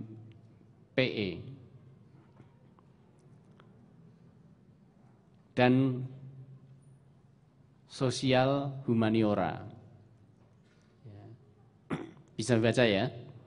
Jadi di, dinampak di dalam pendahuluan ini saya bacakan program kreativitas mahasiswa penelitian merupakan program penelitian yang dimaksudkan untuk mampu menjawab berbagai macam permasalahan keilmuan. Program ini dikelompokkan menjadi penelitian bidang X dan sosial humaniora. Program kita semua seni kan. Saya sarankan nanti eh, penelitian yang Anda rancang itu sesuai dengan program studi Anda. Pamrihnya apa? Pamrihnya nanti kalau Senat itu menyetujui peraturan rektor yang kami susun, itu Anda kalau mendapatkan medali bisa langsung bebas skripsi. Itu. Bisa langsung bebas skripsi. Itu nanti kalau eh, mudah-mudahan tahun ini peraturan rektor itu bisa terwujud peraturan rektor itu bisa terwujud dan senat bisa menyetujui. Jadi sesuaikan dengan program studi Anda. Seolah-olah Anda sekarang sedang mempersiapkan skripsi begitu. Jadi saya lanjutkan saya baca PKM bidang eksakta terkait dengan upaya pemecahan masalah eksakta. Misalnya penentuan faktor mutu produk, pengembangan metode pembelajaran, inventarisasi atau eksplorasi sumber daya alam, modifikasi produk, identifikasi dan pengujian khasiat senyawa kimia bahan alam, merumuskan teknis. Tapi itu nggak usah kita pikirin karena itu adalah eksata bukan bidang kita. Yang kita perhatikan adalah PKM sosial humaniora. Ini PKM Sosial Humaniora terkait dengan upaya pemecahan masalah humaniora. Misalnya, survei kesehatan anak jalanan. Dua, metode pembelajaran aksara daerah di siswa sekolah dasar. Eksplorasi dan mengungkap tradisi budaya, eh, tradisi dan budaya lokal atau konflik sosial masyarakat dan hal yang berkaitan dengan kearifan lokal. Nah, di sini Nah, di sini eh, eksplorasi dengan untuk mengungkap tradisi dan budaya lokal itu bisa dilakukan oleh semua program studi. Bisa di, di apa? Bisa dilakukan oleh semua program studi. Pedalangan, prodi pedalangan bisa mengungkap, mengeksplorasi tradisi dan budaya lokal. Karawitan sama saja, teater sama saja, tari sama saja, desain komunikasi visual semua bisa. Kita bisa meng, apa, memfokuskan diri untuk mengeksplorasi, mengeksplorasi dan mengungkap tradisi dan budaya lokal. Nah, saudara-saudara sekalian, ini nampaknya Prof. Edi eh, sudah sampai di isi Surakarta. Jadi saudara tadi kan sudah dari tadi dari jam setengah sepuluh Anda duduk konsentrasi serius begitu. Uh, oleh karena itu nanti kita uh, kita me, apa, mempersiapkan diri untuk menerima kuliah dari uh, Prof. Sri Edi Sriwasono. Oh, beliau malah sudah mempersiapkan uh, papernya ya. Nanti tolong yang bagian atas, di balkon atas juga diberi bagian Pak Agung, karena di balkon atas juga ada. Ya. Saya teruskan ya sambil sambil anu, sambil menunggu Prof Edi. Nah, tujuan PKM penelitian itu adalah menumbuhkan minat dan kemampuan mahasiswa dalam penelitian ilmiah sehingga dapat menghasilkan penelitian yang berkualitas dan memiliki potensi untuk dipublikasikan di jurnal ilmiah serta mempunyai peluang untuk menghasilkan paten. Nah, kalau kita mungkin eh, biasanya paten itu hal mengenai paten itu nanti akan diterangkan di dalam mata kuliah haki. Tahu haki itu apa? Apa? Hak atas kekayaan intelektual. Nah di haki itu ada beberapa resim, resim haki. Ada yang disebut resim paten, ada yang disebut dengan resim hak cipta, ada resim merek dagang, ada resim eh, sirkuit terpadu, dan ada resim varietas. Nah, ada ada banyak ya. Nah, kita nanti yang kemungkinan kita nanti akan eh, diharapkan bisa masuk eh, resim haki itu paten atau hak cipta atau eh, desain produk. Nah, kita harapan harapan kita memiliki Eh, karya yang berpotensi haki itu.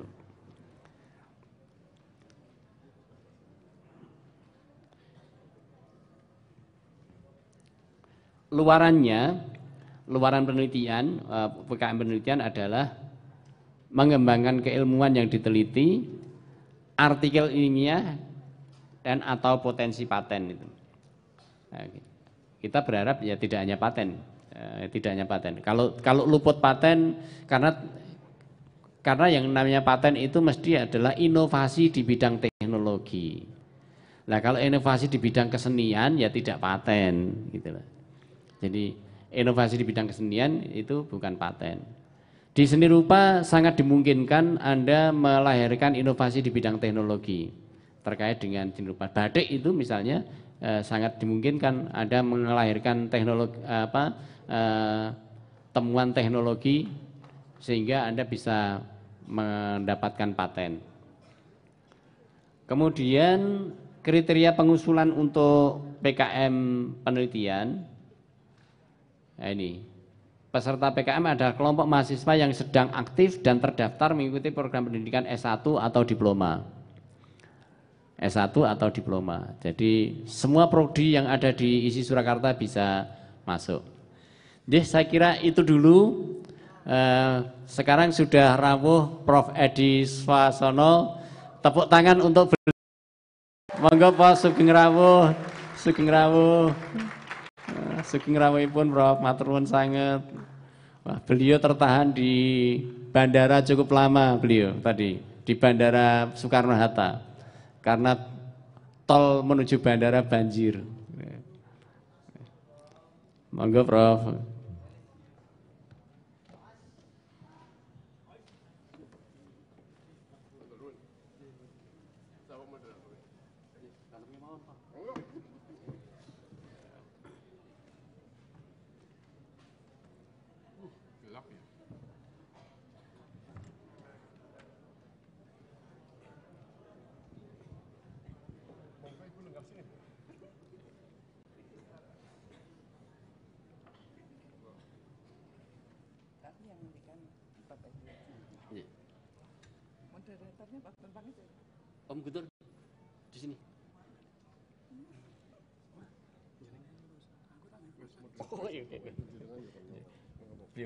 ke rumah sakit.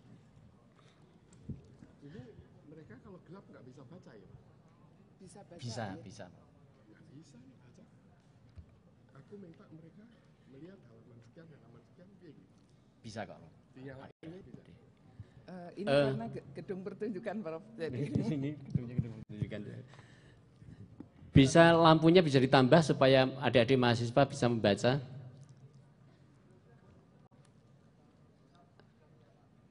Uh, bisa, bisa bisa membaca nggak dengan penerangan seperti ini? Nah, bisa ya? Ya, berarti bisa segera dimulai. Jadi, um, selamat datang Prof. Sri Edi Swasono. Prof. Edi ini adalah Ketua Dewan Pertimbangan ISI Surakarta yang sudah lama uh, menjadi ketua Dewan Pertimbangan dan banyak memberikan pertimbangan terhadap perkembangan isi Surakarta.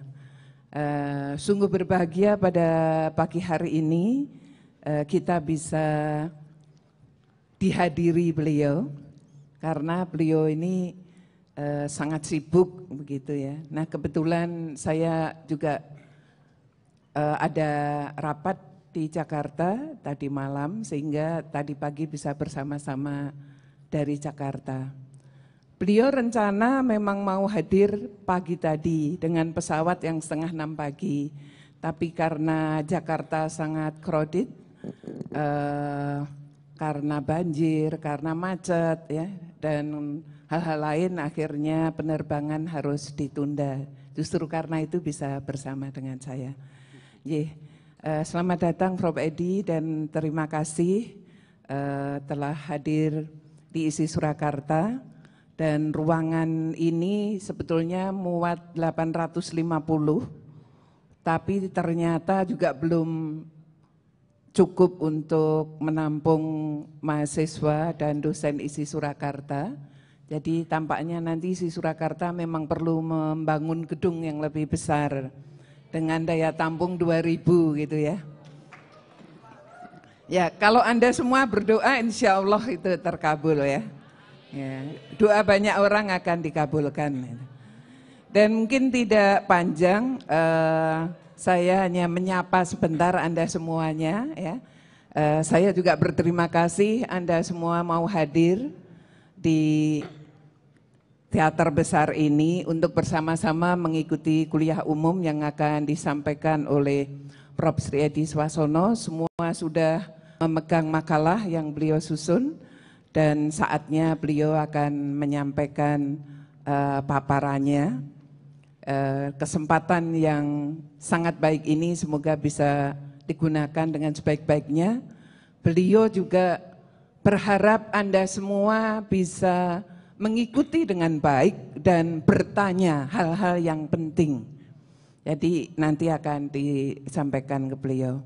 Jadi saya rasa demikian uh, waktu sepenuhnya langsung ke Prof Edi saja ya, Prof.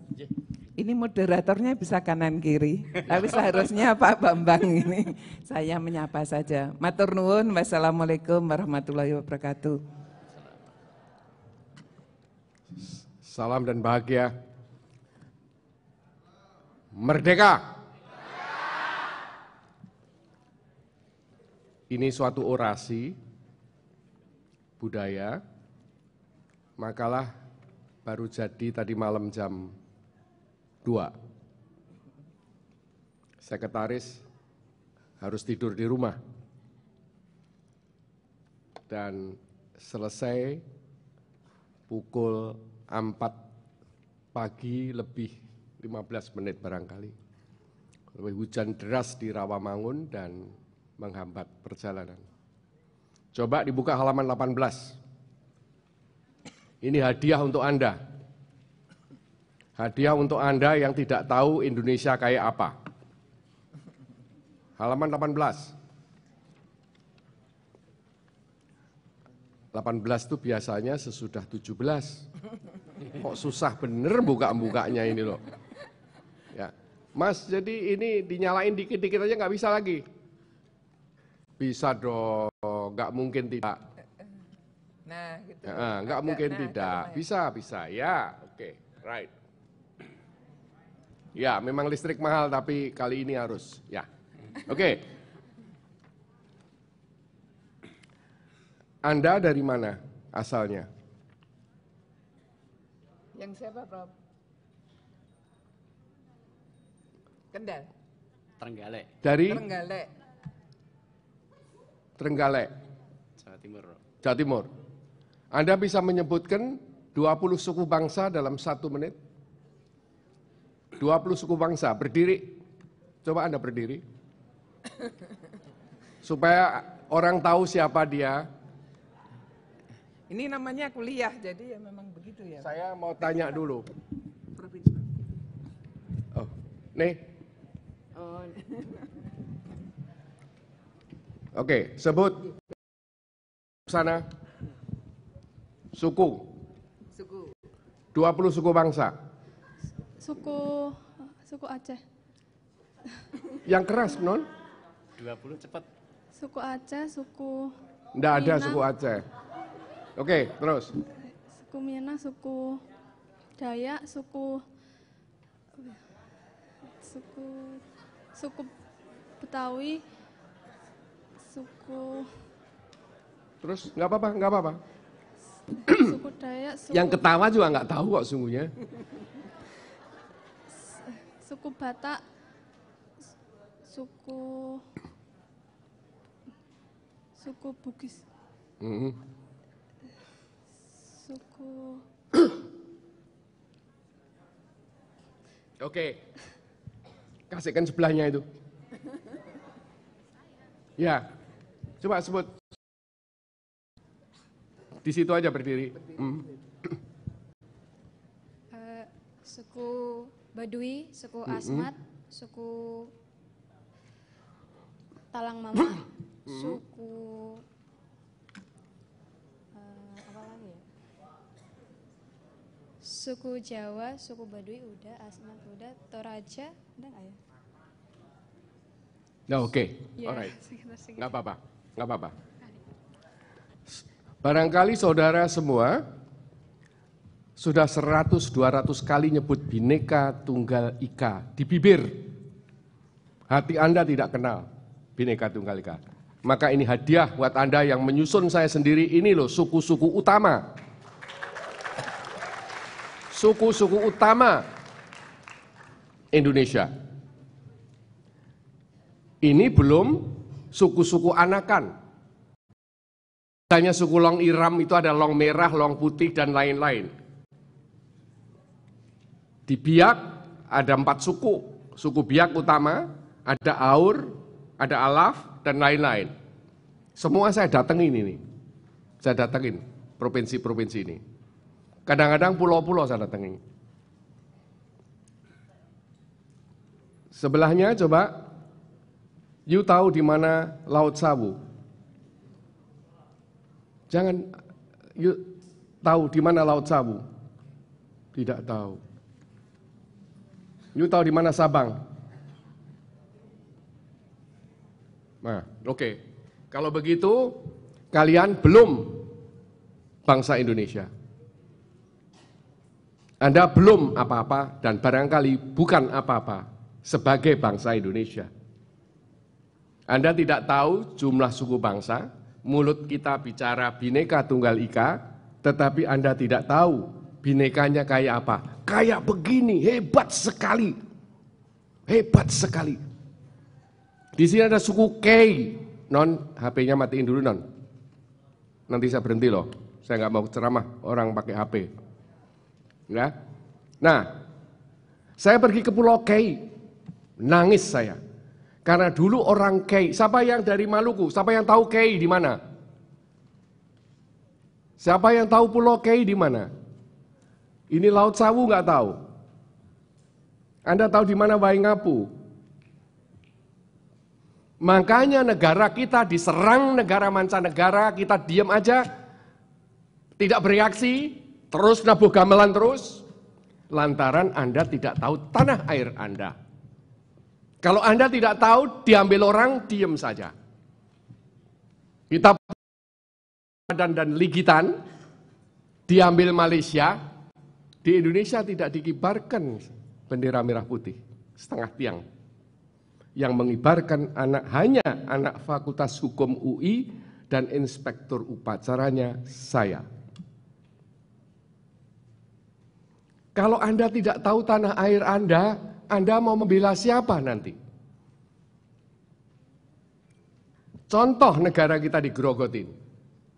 Pada tahun 61, saya ke Laut Sawu.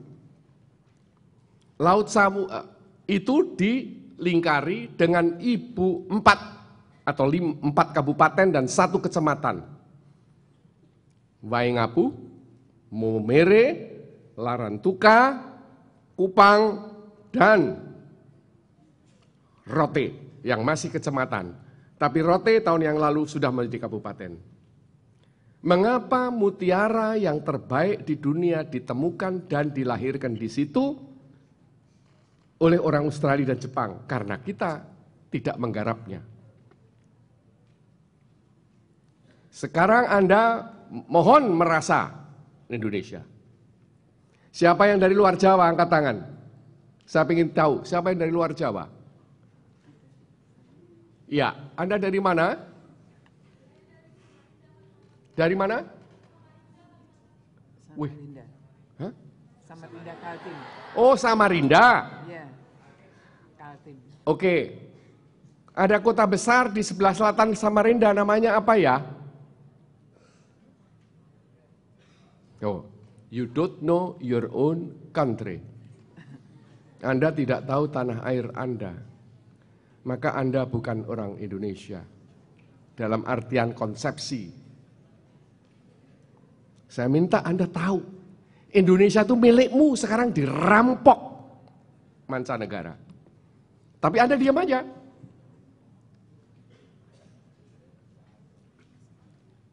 Saya ditanya oleh seorang dokter, ahli politik tadi di airport, saya ada cerita pada ibu. Loh, tak kasih ini sudah dibaca itu, baca. Arsip saya dibaca dan diminta di airport sambil nunggu nunggu ibu ini. Dia bilang, Pak Edi, bukan main. Pak Edi orasi budaya, ya. Untuk apa Pak? Maaf ya jawaban saya. Saya ingin anak-anak Indonesia tidak sekedar menjadi ayam sa, ayam sayur. Saya ingin anak-anak Indonesia menjadi ayam petarung. Bagaimana Anda bertarung tidak tahu tanah air Anda? Di mana tempatnya Sabang, Non? Hah? Dekat Aceh. Di dekat Aceh itu utaranya, selatannya atau mana kira-kira? Hmm. Sabang itu pulau ya, di sebelah utara Aceh. Merauke di mana? Sebelah mana? Papua Utara, Tengah, Selatan, yang mana? Aku tanya dia. Selatan. Miangas di mana non? Hmm. Indonesia itu dari Sabang sampai Merauke, dari Miangas sampai Rote. Itu kesalahan Bung Karno itu. Sabang Merauke, nah, Miangas Rote-nya nggak disebut, hilang si Padan dan Digitan, harus disebut. Ya, Sabang sampai Merauke sama dengan London sampai Moskow. Besar sekali. Di situ 14 negara, dari London sampai Moskow itu 14 negara. Kita satu negara. Dari Miangas sampai Rote itu sama dengan Moskow sampai Kairo, itu lima negara. Indonesia satu. Gede banget. Banggalah. Pulau paling timur, eh, paling barat apa namanya non? Eh sebelahnya ya, mana? Pulau paling barat Indonesia namanya apa? Pulau Besar. Ya jangan Pulau Besar, Indonesia bagian barat mana pulau namanya? Paling barat. Sering disebut Indonesia Barat. Enggak tahu. Ya. ya. Oke. Terus piye iki? Nah. Anda punya KTP? Ya, keluarkan KTP-nya. Keluarkan sekarang. Yang lain juga keluarkan KTP.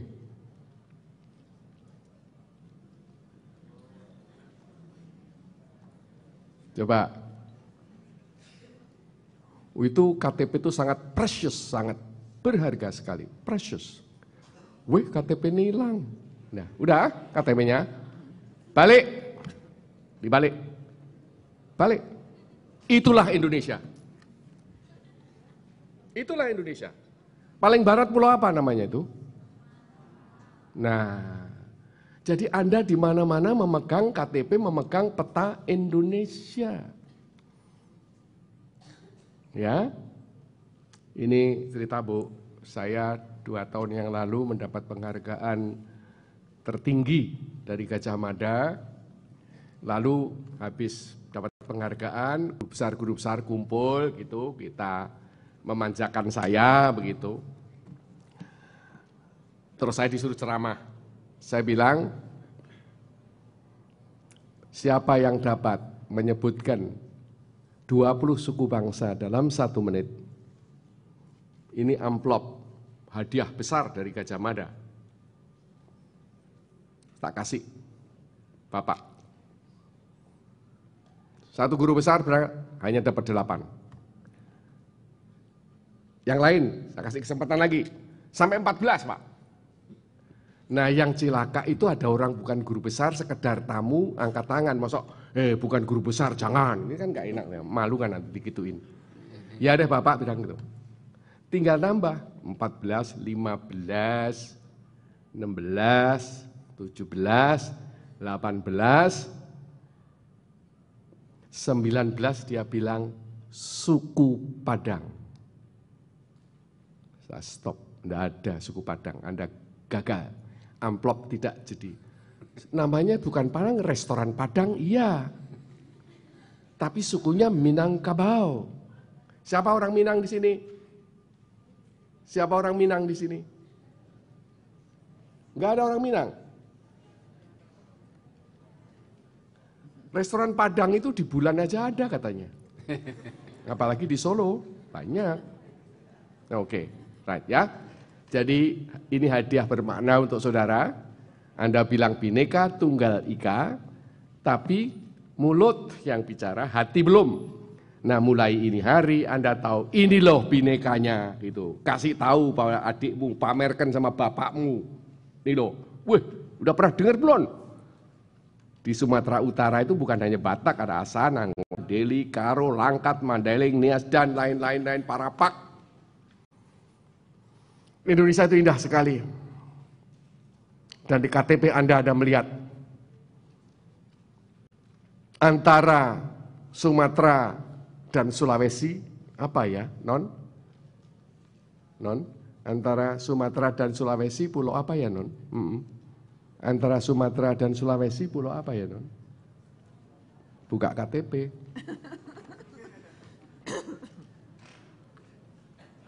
Good.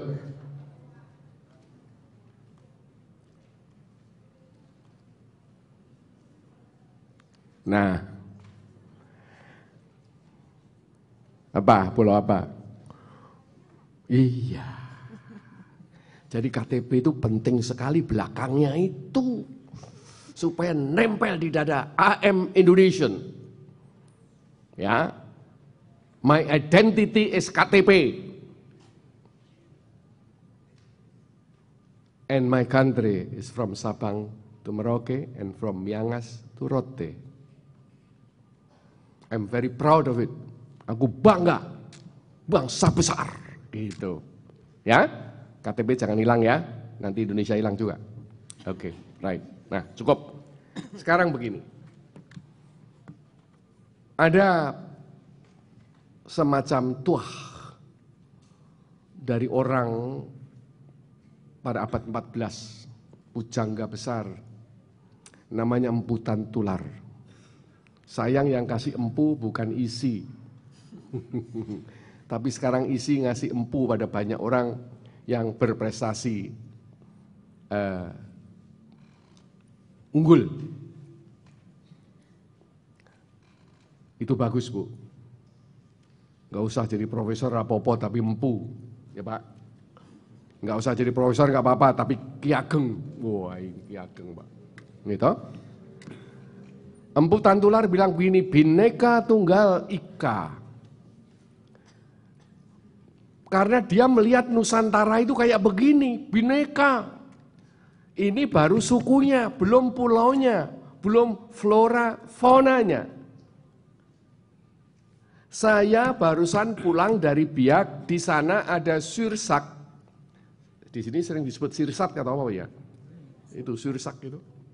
Buah itu. Iya, buah sirsak. Makannya bisa pakai pisau dan garpu.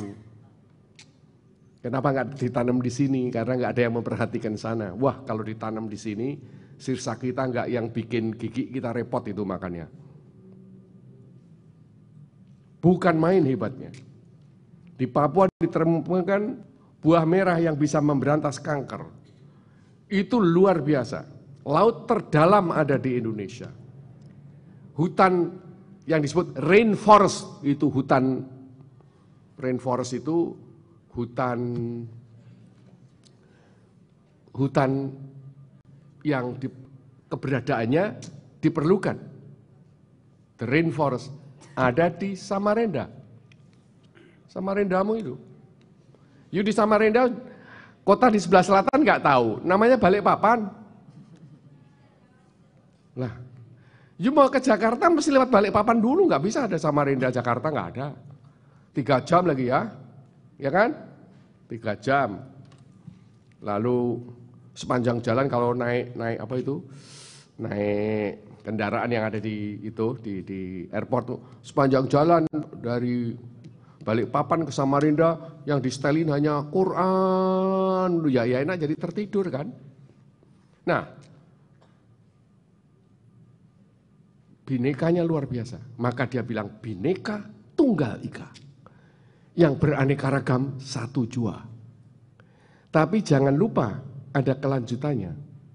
Tanhana dharma mangra dan tanhana dharma mangra itu begitu itu tidak aja simbolistis begitu itu mistis maka dipakai simbolnya lemhanas. Saya mengajar di Lemhanas, saya dosen Lemhanas paling lama sampai sekarang. Lemhanas itu adalah lembaga, nggak tahu Lemhanas ya? Uh. Orang yang mau jadi jenderal harus sekolah di Lemhanas dulu setelah Sesko, TNI dan Sesko Angkatan Darat atau Sesko, kemudian ke Sesko Abri, baru ke Lemhanas. Ya, simbolnya Lemhanas adalah tulisannya Siu, Tanhana Dharma Mangra. Bineka Tunggal Ika, Tanhana Dharma. Tanhana Dharma artinya tidak ada jiwa mendua.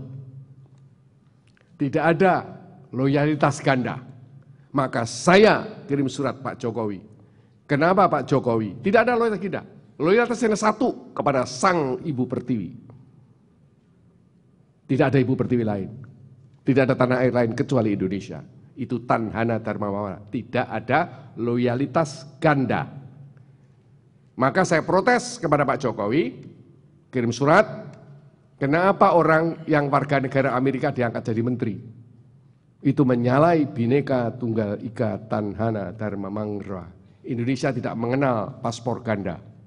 Paspor satu, Republik Indonesia. Nah ini, Ya, oke saya lanjutkan. Kemudian dicopot, kemudian diangkat lagi. Biasa toh? Yang terjadi kan selalu gitu. Copot, angkat lagi. Ujian nasional diadakan, hapuskan, diadakan lagi. Udah terus aja gitu. Nggak habis-habis berubah itu. Uh, full day school, baru wacana, ternyata iya, haruskan, cabut lagi. Sekarang nggak tahu dia main ke mana. Ini Indonesia nih, nggak boleh begitu sebetulnya. Nah, ini embrio nasionalisme Indonesia. Embrio nasionalisme Indonesia.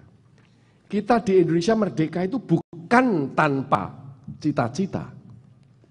Kita menyatakan kemerdekaan kapan ya non kemerdekaan? Hah? tahun 45. Waktu kita merdeka, satu hari kemudian kita punya undang-undang dasar. Ngerti ya?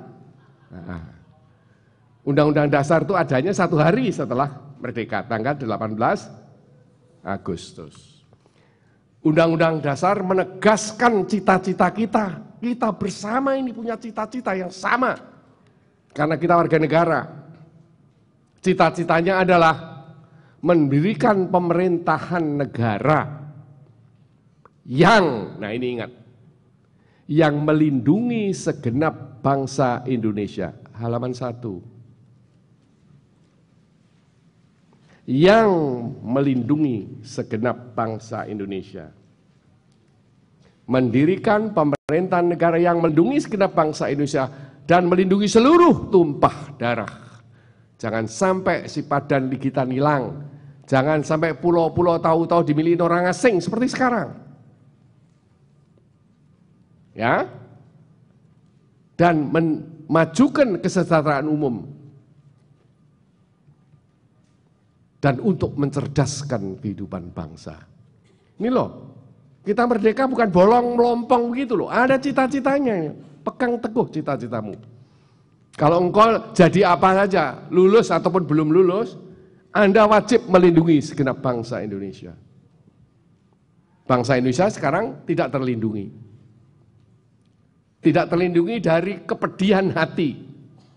Dibiarkan kita pedih hati. Karena apa pedih hati? Karena yang miskin-miskin banget, yang kaya kok sampai begitu. Apa enggak pedih itu? Saya semula punya pembantu yang rumahnya ya dapat rumah kecil gitu, senang. Cerita sama saya ini loh Tuhan, eh, pembantu sekarang kan punya Samsung semua itu. Nih loh Tuhan rumah saya gitu. Begitu dia melihat televisi, ada apartemen yang down paymentnya 1,2 miliar Pak. Cicilannya 400 juta per bulan selama 22 bulan. Langsung, ya omah saya kok kayak begini. Maka kita membiarkan dia tersayat-sayat perasaannya. Orang tidak punya pekerjaan, orang yang sangat miskin, TKW yang disiksa, orang tidak bisa bayar kuliah. Untung di sini nggak gitu mahal bu ya. Enggak, oh, bilang mahal. Enggak, enggak mahal. Saya saya punya anak satu aja bayari dulu waktu di UI aja bayarin udah mikir-mikir juga itu. Nah, ya. Gini. Jadi kita tidak melindungi, dibiarkan miskin, dibiarkan buta huruf, dibiarkan terlantar. Dan segenap tumpah darah, pulau dijualin, pulau digadaikan. Bahkan ada yang menteri, menteri yang menurut WA ya, hoax apa enggak saya enggak tahu, moga-moga tidak hoax atau mungkin moga-moga hoax, maaf. Hoax. Daripada repot-repot pulau-pulau itu sewain aja gitu. Nih pekerjaan orang males ini. Orang males itu ya kalau punya pulau nggak digarap, sewain aja, sewain. Nanti kita nggak jadi bangsa apa kita menjadi bangsa tempe. Nah, jadi kita bukan omong kosong. Kita bukan omong kosong. Kita terjajah. Diri saya lihat, keterjajahan Indonesia itu pedih sekali, kejam sekali terhadap Indonesia yang dijajah itu namanya waktu itu masih Hindia Belanda, ya, eh, apa, eh, India Belanda, namanya Hindia Belanda, itu negara jajahan kita, negara kita yang sedang dijajah, penduduknya menderita. Yang mengungkap itu banyak penderitaan, tapi minimal Anda harus membaca apa yang diungkapkan dua tokoh nasional kita. Pada tahun 28, Hatta mengungkapkan penderitaan bangsa Indonesia di negeri Belanda. Di depan pengadilan dia mengungkap 350 halaman tek diungkap dan kemudian pidato itu dikasih judul Indonesia Free Artinya Indonesia merdeka. Halaman dua itu. Sedang Bung Karno dua tahun kemudian juga menceritakan itu. Dua tahun kemudian belakangan dia. Tahun 30 pidato pembelaannya dikasih judul Indonesia Klachtan atau bahasa Indonesia Indonesia menggugat. Jadi Buya Ma'arif, so sini. Buya Ma'arif so. Syafi'i Ma'arif keliru waktu dia mengatakan pembelaan Bung Karno pakai bahasa Indonesia. Enggak, pembelaannya Bung Karno pakai bahasa Belanda juga. Aku kebetulan punya. Indonesia Klachtan. Indonesia protes. Dia menggugat. Ini kalau mau tahu. Nah Anda kalau tidak membaca dua buku itu, anda tidak tahu bahwa kita ini anak jajan yang bukan main, yang membawa akibat sampai sekarang. Kemudian kita dalam pembukaan tadi mencerdaskan kehidupan bangsa. Apa artinya mencerdaskan kehidupan bangsa? Menteri Pedanka yang dulu-dulu pernah salah. Kalau Anda salah, sekarang nggak apa-apa. Sekarang saya beritahu apa artinya mencerdaskan kehidupan. Yang bukan mencerdaskan otak saja. Hidupnya yang cerdas, bukan otaknya doang. Artinya apa? Saya tanya, anggota BPU PKI namanya. BPU PKI tahun 45 itu adalah sekelompok 75 75 orang tokoh Indonesia yang membuat mempersiapkan undang-undang dasar yang kemudian disahkan tanggal 18 Agustus tadi. Saya tanya kepada anggota tokoh di BPU PKI dan kemudian jadi BPU PKI dibubarkan, diperkecil menjadi PPKI. Panitia Persiapan Kemerdekaan Indonesia. Saya tanya pada wakil ketua, apa sih kok mencerdaskan kehidupan bangsa? Jawabannya luar biasa. Bahasa Indonesia sangat terbatas, oleh karena itu setiap kali kami merumuskan sesuatu, kami pilih kata-kata yang tepat dan hebat. Maka yang terpilih adalah mencerdaskan kehidupan bangsa. Beliau malah menegur saya. Kamu pendidikan Amerika, barangkali kalau pakai bangsa, bahasa Inggris, mencerdaskan kehidupan bangsa adalah to dignify the people of Indonesia. Memberikan dignity, memberikan harga diri, memberikan harga diri kepada bangsa. Kamu bukan slave, kamu bukan budak, Hidupmu harus cerdas. Ini terjadi karena Belanda itu jahat sekali. Penduduk Hindia Belanda dibagi menjadi tiga kelompok. Kelompok pertama orang kulit putih. Dengan segala hak dan fasilitas luar biasa yang tanpa batas. Yaitu Belanda. Sering kalau orang Jawa itu Londo Jerman, Inggris gitu. Pokoknya orang kulit putih. Nah kalau londo betulan, londo yang londo, londo yang betulan orang Belanda, mereka nyebutnya londo didong, masih ingat ya? Londo didong gitu. Nah, londo Jerman gitu. Nah, lalu bagian kedua, layer kedua, kelas 2, ini kelas top itu.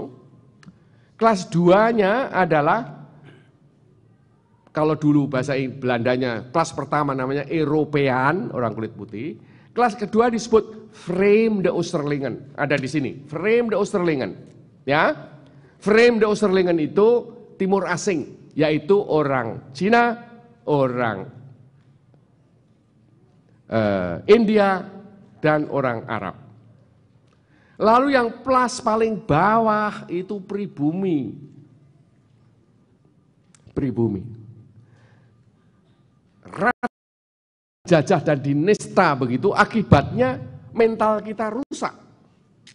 Mental kita terpuruk. Kita menjadi pengagum sama kulit putih. Di kampus-kampus yang terkemuka, tidak terkecuali di UI. Kagum sama barat. Iya Pak. Saya nggak mau ngomong di sini kagum, enggak, ya nggak mau. Itu urusan Anda ya even even di UI itu orang masih menganggap modernisasi adalah westernisasi. Loh. Karena kagum. Karena selama ratusan tahun dididik ini kelas tinggi itu putih. Ekonom UI juga gitu. Doktor, muridnya Pak Edi, jadi menteri, diperintah IMF, you mesti begini, Prot karena yang nuruh tauke IMF bule. Nah, kapan kita bisa menghilangkan rasa rendah diri, menghilangkan kemenderan itu? Lalu bangkit harga diri yang tinggi, dignity itu tadi. Kapan itu? Tidak bisa tidak, harus lewat sekolahan. Dan sayangnya sekolah tidak mendidik itu. Bah, barangkali saya ngomong begini Anda belum pernah dengar sebelumnya. Karena sekolah memang tidak ngajari begitu. Gurunya aja minder kok gimana? Gurunya aja minder. Kenapa gurunya? Karena gurunya dia juga minder juga sebelumnya. Nah, di UI jelas saya kritik. Nganggep modernisasi kemajuan adalah westernisasi membarat. Kebetulan Ibu Rektor, saya yang membuka jurusan Indonesia di Hankook University of Foreign Study Korea. Tahun 76 Bu, dan dari 76 sampai sekarang saya mengajar di Korea, Bu. Yang dulu ngajar saya pakai bahasa Inggris pelan-pelan. Sekarang saya ngajar di Korea pakai bahasa Indonesia karena mereka sudah pinter bahasa Indonesia. Hanya di Indonesia 6 tahun belajar bahasa Inggris, diajak ngomong Inggris, orang ngerti itu hanya di Indonesia, Bu. Saya nggak tahu kenapa. Saya nggak tahu kenapa. Iya toh? Suppose I speak in English, You not understand. Nah, ya memang di UI ada kelas bahasa Inggris untuk orang yang pengen keluar negeri dan lain-lain dan lain-lain. Ada kelas yang harus ngomong bahasa Inggris. Tapi saya tidak mau di UI ngajar yang bahasa Inggris. Tapi di UIN, IAIN, UIN, Sarif Hidayatullah, Jakarta, saya kelas saya dalam bahasa Inggris. Karena murid di UIN separuh orang asing. Dan Anda boleh kaget, salah satu murid saya adalah orang Belanda yang apal Quran. Nah, kalian aja nggak apal, dia apal. Aku ya apal. Buka saya. Gitu, ada Google di sini kok. Ada Google kan tinggal buka. Tapi dia apal. Dimulai dari tengah pun bablas bisa Pak. Nah, ini ya di Korea itu sangat-sangat modern. Itu semua handphone barat Amerika, Kanada dibabat dengan Samsung. Sekarang mereka mencoba-nyoba ya, dibabat lagi dengan penemuan baru lagi. Mereka sangat maju tapi tidak pernah western. Tidak pernah ke barat-baratan. Tidak pernah western. Jepang lebih lagi sangat maju, tapi tetap dia samurai, tetap dia Jepang, tidak pernah menjadi Western. Lihat Jepang, nggak pernah Western. Kalau sini kalau belum ke barat-baratan, belum merasa. Bahkan ada mahasiswa, ini penemuan dan dilaporkan kepada saya, dia nabung selama beberapa bulan hanya untuk bisa duduk tumpang kaki minum bir di 7-Eleven.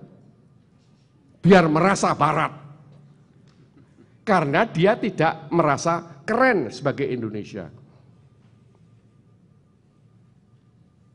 Ini terjadi. Makanya negara kita terpuruk.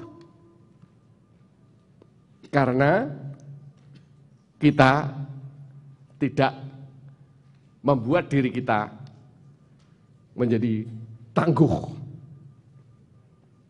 Ya. Jadi mencerdaskan kehidupan bangsa, saya kutipkan aja di sini. Di catatan kaki halaman 4. Catatan kaki halaman 4. Saya bacakan di sini. Catatan kaki 3. Mutia Hatta mengemukakan dimensi mencerdaskan kehidupan bangsa sebagai upaya yang tidak hanya melawan kebodohan, social foolishness, tapi juga melawan keterbelakangan sosial atau social backwardness.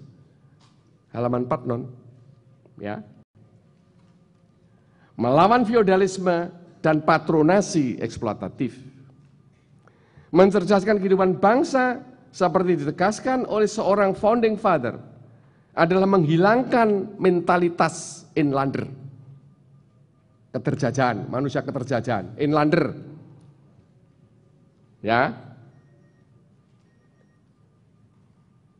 Yang saya artikan sebagai mentalitas underdog.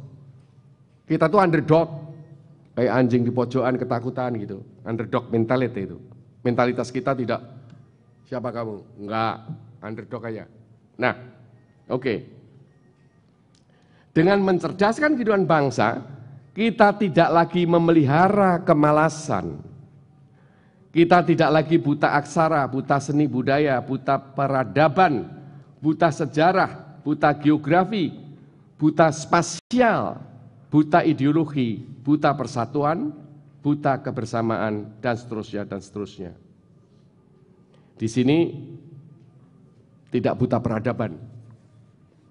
Bu, Rektor, saya itu bersih-bersih lacinya ibu saya. Itu beberapa tahun lagi, beberapa bulan lagi ibu saya 100 tahun umurnya. Tak buka, kok ada raport-raport Taman Siswa Pak, tahun 42. Tulisannya Raden Ajeng Widoyati. Solo. Solo Bu. Taman Siswa. Aku tanya sama tante-tante saya yang masih ada. Siapa tuh Raden Ajeng? Itu bule saudaranya sepupu ibumu gitu. Saudara sepupu ibu saya.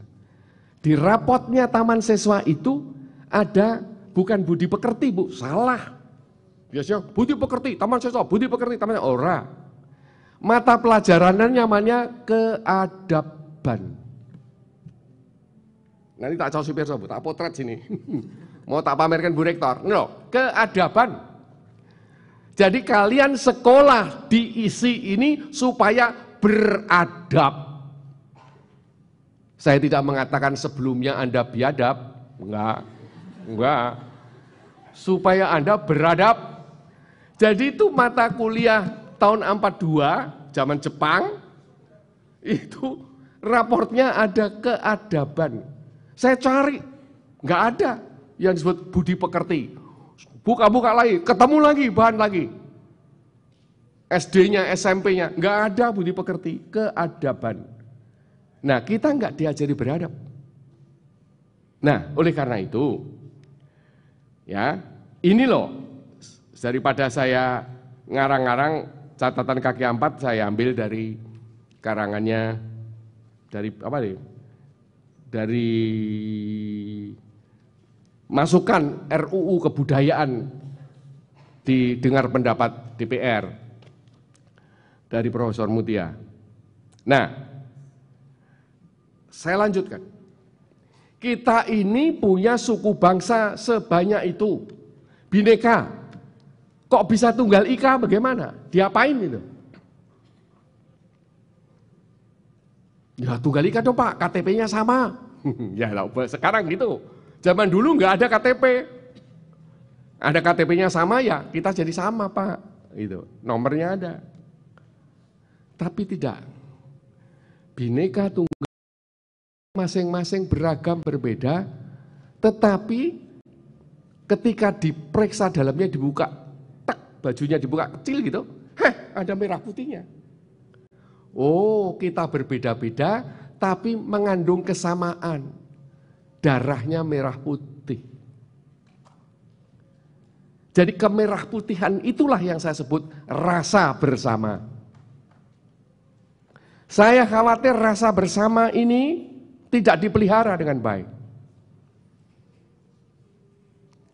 Yang belum saya tanya, yang laki-laki sini. Saya tanya ya mas, Anda, kalau Pak Edi nanya tumpang kakinya jangan dong. Nah gitu, ya itu adab. Gini,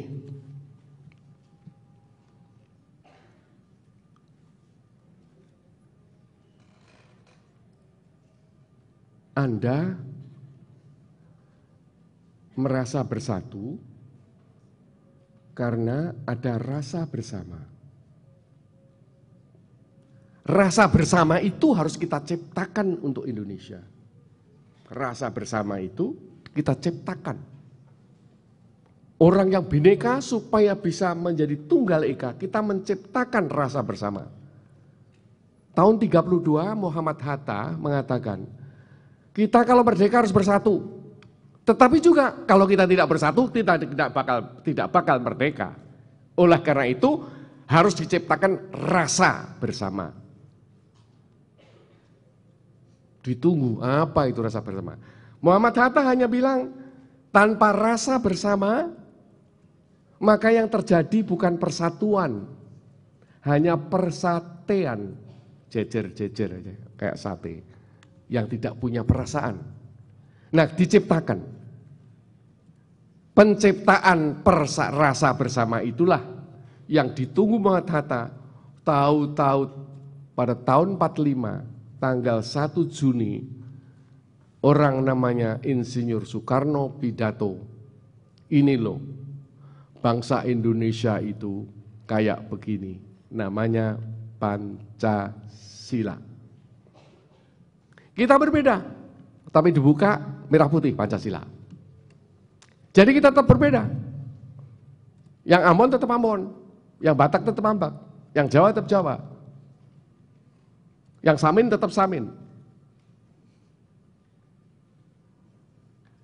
Di Jawa Timur, sebelahnya, Mas, di Jawa Timur ada berapa suku bangsa ya? Anda? Jangan dibuka, kira-kira apa? Jawa Timur sukunya apa? Hah? Jawa, Madura, apa? Tengger, Osing. Siapa yang dari Osing? Mana Osing? Yang yang mana ya? Enggak lihat saya. Di atas sana, Pak. Oh, dia. Oh, ada orang di atas baru tahu saya. Merdeka. Iya. Jadi Oseng itu, wah, pokoknya saya bisa cerita banyak mengenai Oseng. You kalau lihat tarian Oseng, wah, udah. Itu harus ditarikan. Nanti saya sumbang tarian di sini Oseng ya, Bu ya. Ditarikan di sini, diisi sini tarian Oseng. Luar biasa. Nah, jadi ini harus ada rasa bersatu. Rasa bersatu itu akan terjadi apabila sebelahnya Mas, Mas, Mas, sebelahnya apabila Anda bisa menjawab. Anda lahir di mana? Sragen. Nah, Oke. Okay. Sekolahnya di mana? SMP, SMP, SMA? Sragen juga. Sekarang sekolahnya di Universitas di sini, ya? Oke. Okay. Bisakah Anda menyebutkan lima orang sahabat? Berarti Anda orang Jawa toh?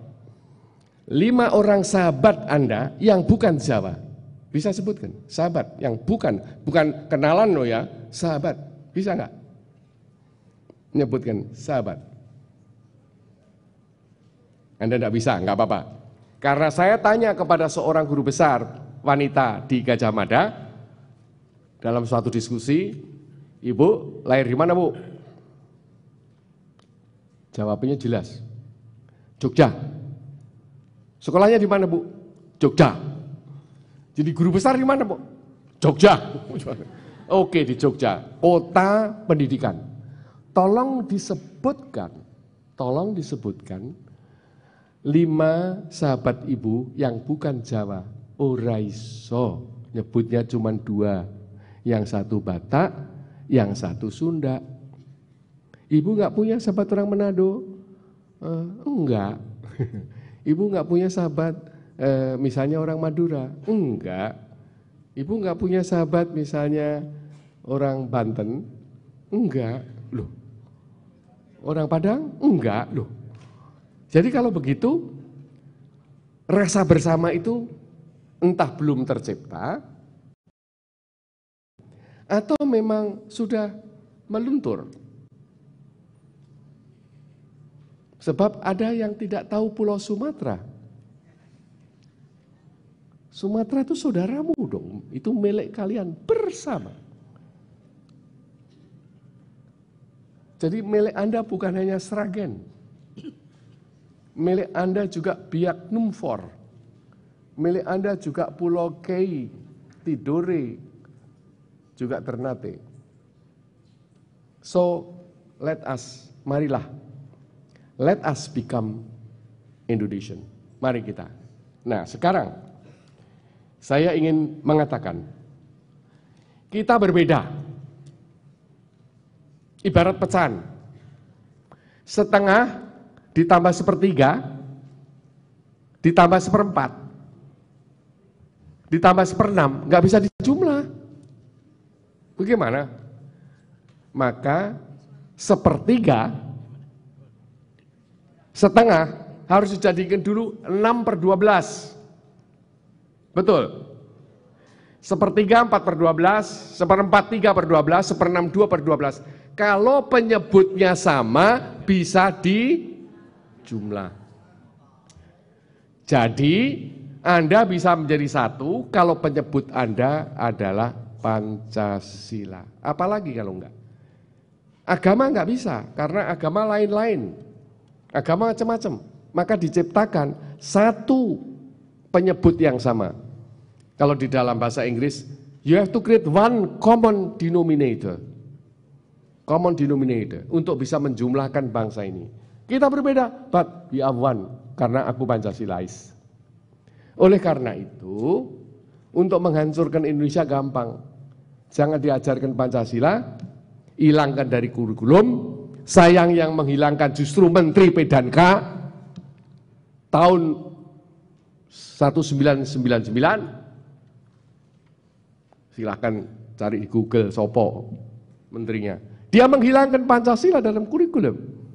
Maka tidak ada lagi penyebut yang sama untuk menjumlahkan yang berbeda-beda itu. Please remember that. Saya bangga bahwa di sini eh, konstitusi kita namanya apa Pak di sini? Eh, statuta. Statuta menyebut Pancasila dan pidatonya Ibu hari wisuda kemarin nyebut Pancasila.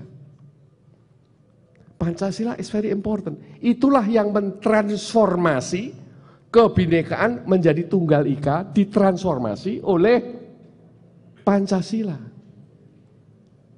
Jadi pembudayaan pola pikir Pancasila penting.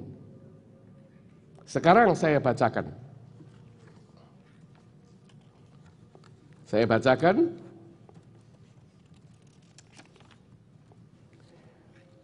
proklamasi kemerdekaan adalah proklamasi budaya.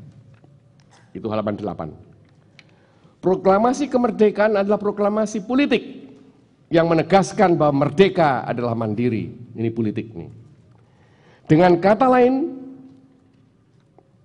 proklamasi kemerdekaan adalah proklamasi kemandirian. Ya, aku mandiri. Aku nggak lagi jadi kantek kacungnya Belanda. Tidak lagi antek dan kacungnya Jepang. Yang ditegaskan ya bahasa Belanda on avant proklamasi, proklamasi kemandirian. Artinya pernyataan kemerdekaan adalah suatu pernyataan budaya. Loh, bagaimana ini? Iya, yaitu pernyataan untuk memangku nilai-nilai budaya berdaulat. Berdaulat tuh nilai budaya loh. Berdaulat. Ini aku, ini kamu. Das ich gitu.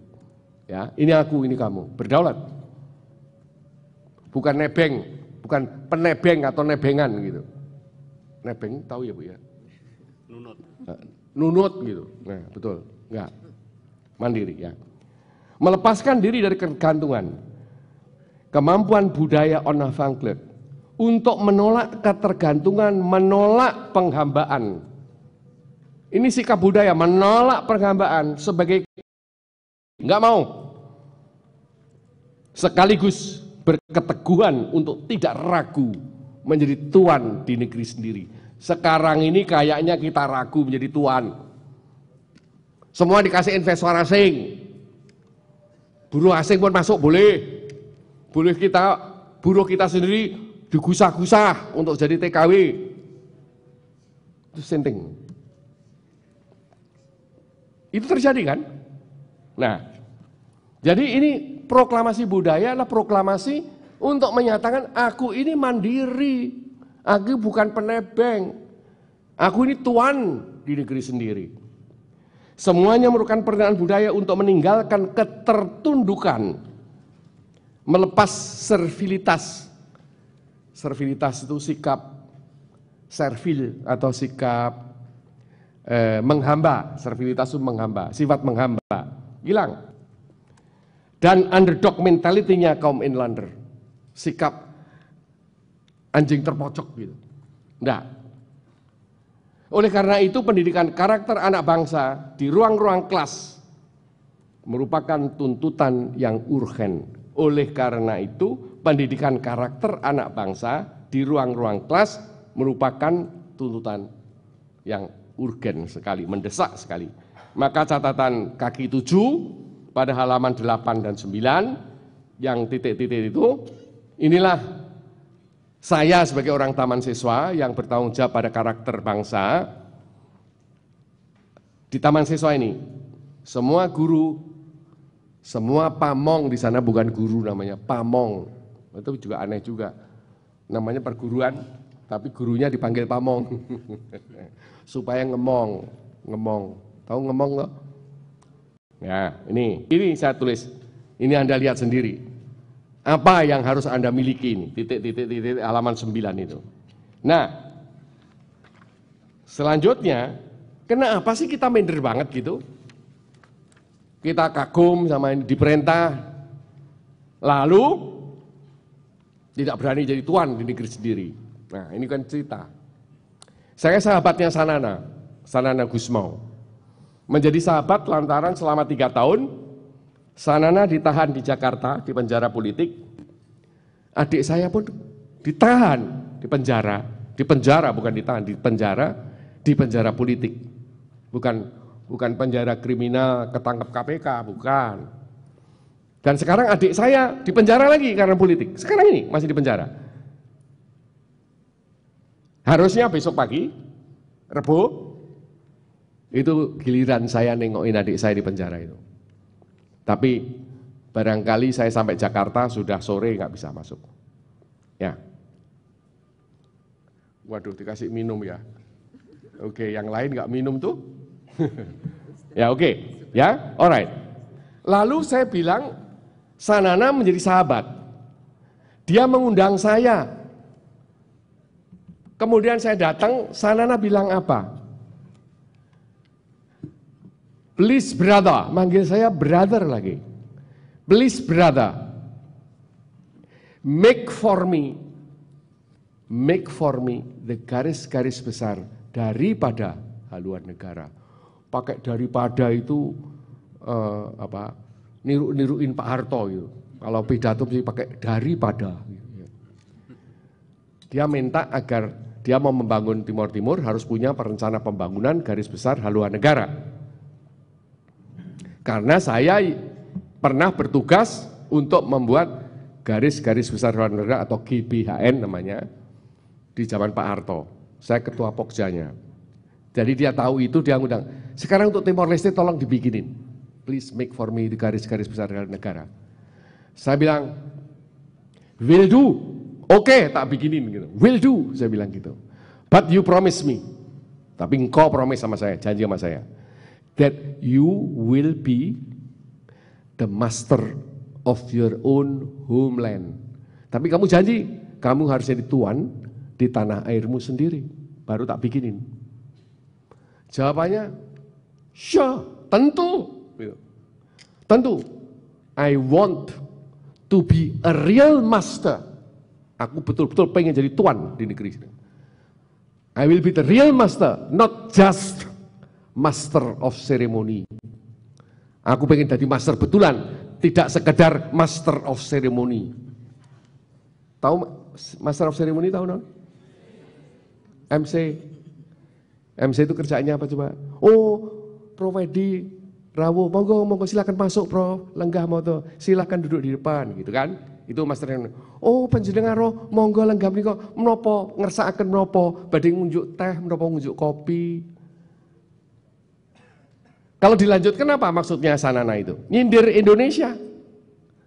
Mau teh apa kopi, mau batu bara apa emas masih ada, itu juga hutan belum habis, pulau-pulau belum ada, mau yang mana gitu. Dia maksudnya nyindir saya. Nyindir saya itu. Indonesia itu kok kayak gitu. Jiwa budak tidak akan bisa menjadi tuan di negeri sendiri. Kalau Anda tidak mandiri. Dan isi ini pusat budaya. Ingat loh. Anda boleh berbudaya, seni budaya apa saja, jangan lupa budaya kemandirian diri Anda sebagai manusia. Nah, karena kita tidak merasa mandiri, budaya kita budaya tergantung aja. Nunut ki enak, selamat dilindungi, nunut gue. Nunut itu kan nebeng ya Bu? Ya, nebeng ya. Maka akibatnya apa? Negara yang telah membuat negeri Belanda sangat kaya dan makmur sampai terkenal sejak abad 18 sebagai negara kuat di Eropa, negara kecil banget, lebih kecil dari Jawa Barat. Negeri Belanda itu, you muter satu hari penuh selesai. Betul. Sampai orang Belanda saat itu dua presiden Amerika adalah orang Belanda. Hebat enggak? Itu kayanya dari Indonesia. Zaman terutama zaman kultur stelsel, zaman tanam paksa. Lah, kok sekarang ya, kok sekarang kita tidak berdaulat dalam pangan. Bukan hanya swasembada, tidak berdaulat dalam pangan. Pangan kita di setel luar negeri terus. Dikasih beras plastik pun mau. Pernah dengar beras plastik non? mau. Dibayar lagi. Yang impor siapa? Enggak ketangkep lagi pak. Ada di pasar yang membawa siapa? Enggak ketahuan. Atau ujuk-ujuk sampai di pasar. Kan aneh itu. Ya. Kita tidak berdaulat dalam bibit. Bibit aja kok enggak berdaulat kembang-kembang yang kalau ada pengantin besar itu, itu sampai puluhan juta loh. Itu semua bibitnya impor. Belum bibit yang lain-lain. You makan semangka itu bibitnya impor. Kalau semangkanya nggak manis lagi, itu sudah bibit jadi semangka ditanam lagi ya nggak bakal manis. Melon ya nggak bakal manis kalau modelnya gitu. Kalau melon yang manis itu bibitnya impor. Kenapa kita nggak bisa bikin bibit? Kenapa Raja Thailand bisa bikin durian Bogor menjadi durian Bangkok yang hebatnya kayak gitu sekarang ini? Itu istrinya King Rama kedua, karena dia berontak di Culolongkon sana, Culolongkon kerajaan Culolongkon, dibuang di Bogor. Begitu sudah sepuh, sudah tua, boleh pulanglah. Bawa dua, yang satu enceng gondok karena warnanya kembangnya indah sekali, ungu. Dan ungu itu di Thailand adalah warna monarki. Dan yang kedua durian. Dikerjain, diginiin, raja di sana punya laboratorium dan itu menjadi buah durian. Indonesia enggak. Setelah jadi di Thailand, orang mengimpor pohon dari sana ditanam di sini. Kenapa Indonesia nggak bisa bikin bibit? Kita tidak mandiri dalam obat dasar. You barangkali melihat pabrik-pabrik obat. Bukan. Di Indonesia itu adalah pabrik-pabrik peracik obat. Obat dasarnya semua impor. Kita tidak berdaulat di dalam energi. Kita tidak berdaulat di dalam teknologi. Lihat aja, Wong gerobak motor aja kok impor dari Cina, kenapa sih? Kita bisa bikin keris, Bu. Apalagi sini toh.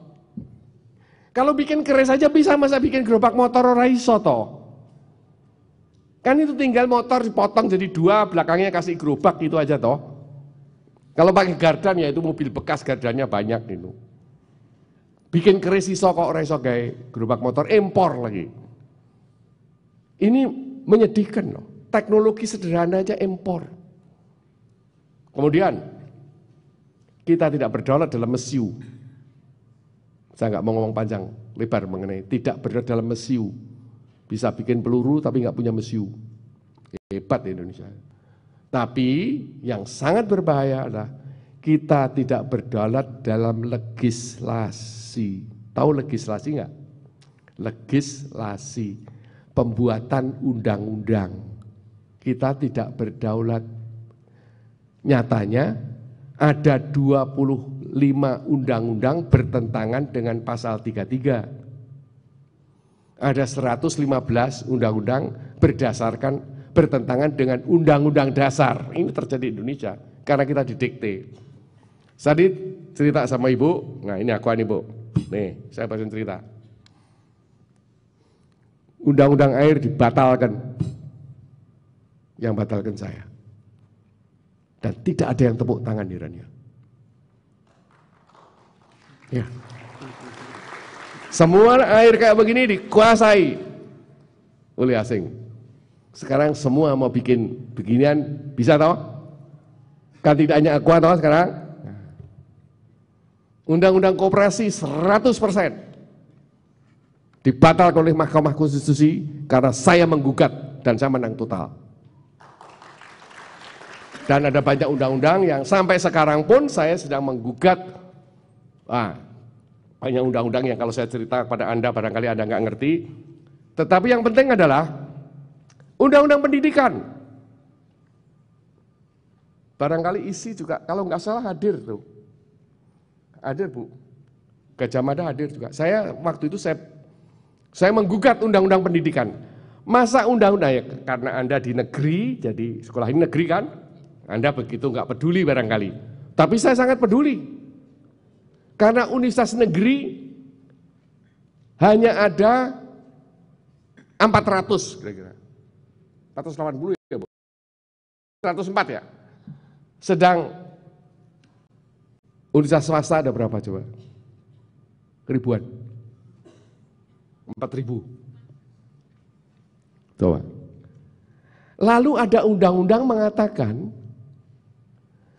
pemerintah dapat membantu perguruan perguruan swasta. Ya saya naik pitam meskipun saya dari UI, negeri ini. Negerinya UI Pol deh.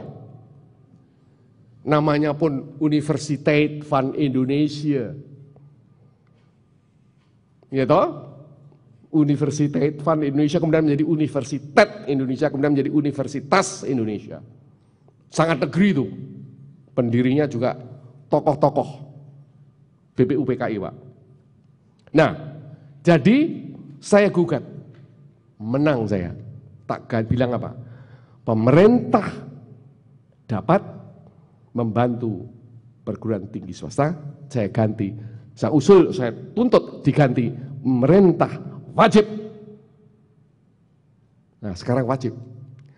Tapi tetap tidak dibantu. Nih, nasib bangsamu kayak begini.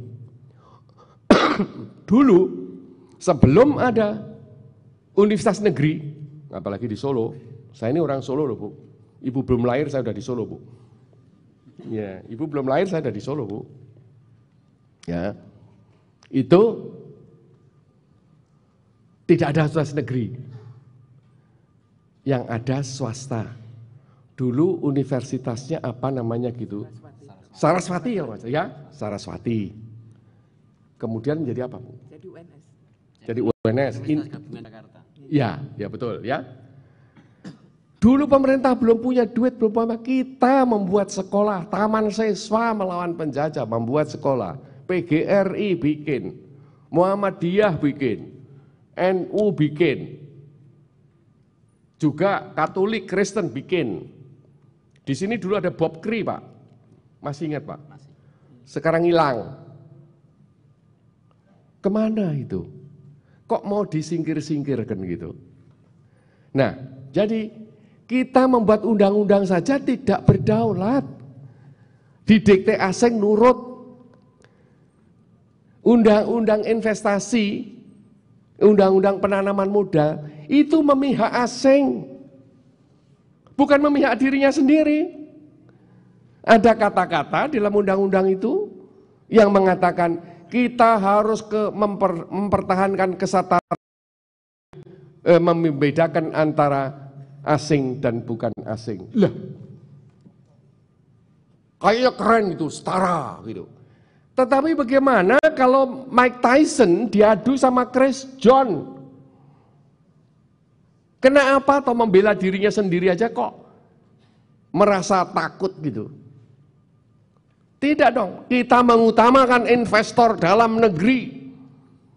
Karena investor dalam negeri erat kaitannya dengan perekonomian rakyat. Misalnya begitu kan? Enggak tuh. Dan itu pun susah. Saya menang dengan susah payah. Dan ternyata juga terbukti kadang-kadang hakim MK kan, ya bolak balik ketangkap ini. Ya, Hakim MK itu kan maka konstitusi kok bisa dikasih duit untuk kepentingan asing. Nah, jadi saudara sekalian, kemandirian apa?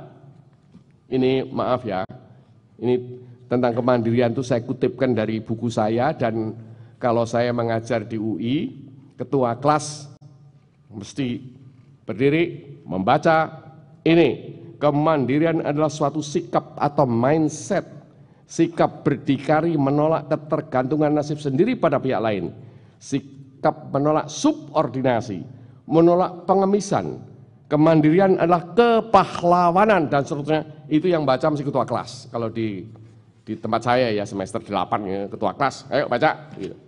Nah, kemudian sampailah kita kepada emputan tular tadi, cinta ibu pertiwi nasionalisme, cinta pada Ibu Pertiwi.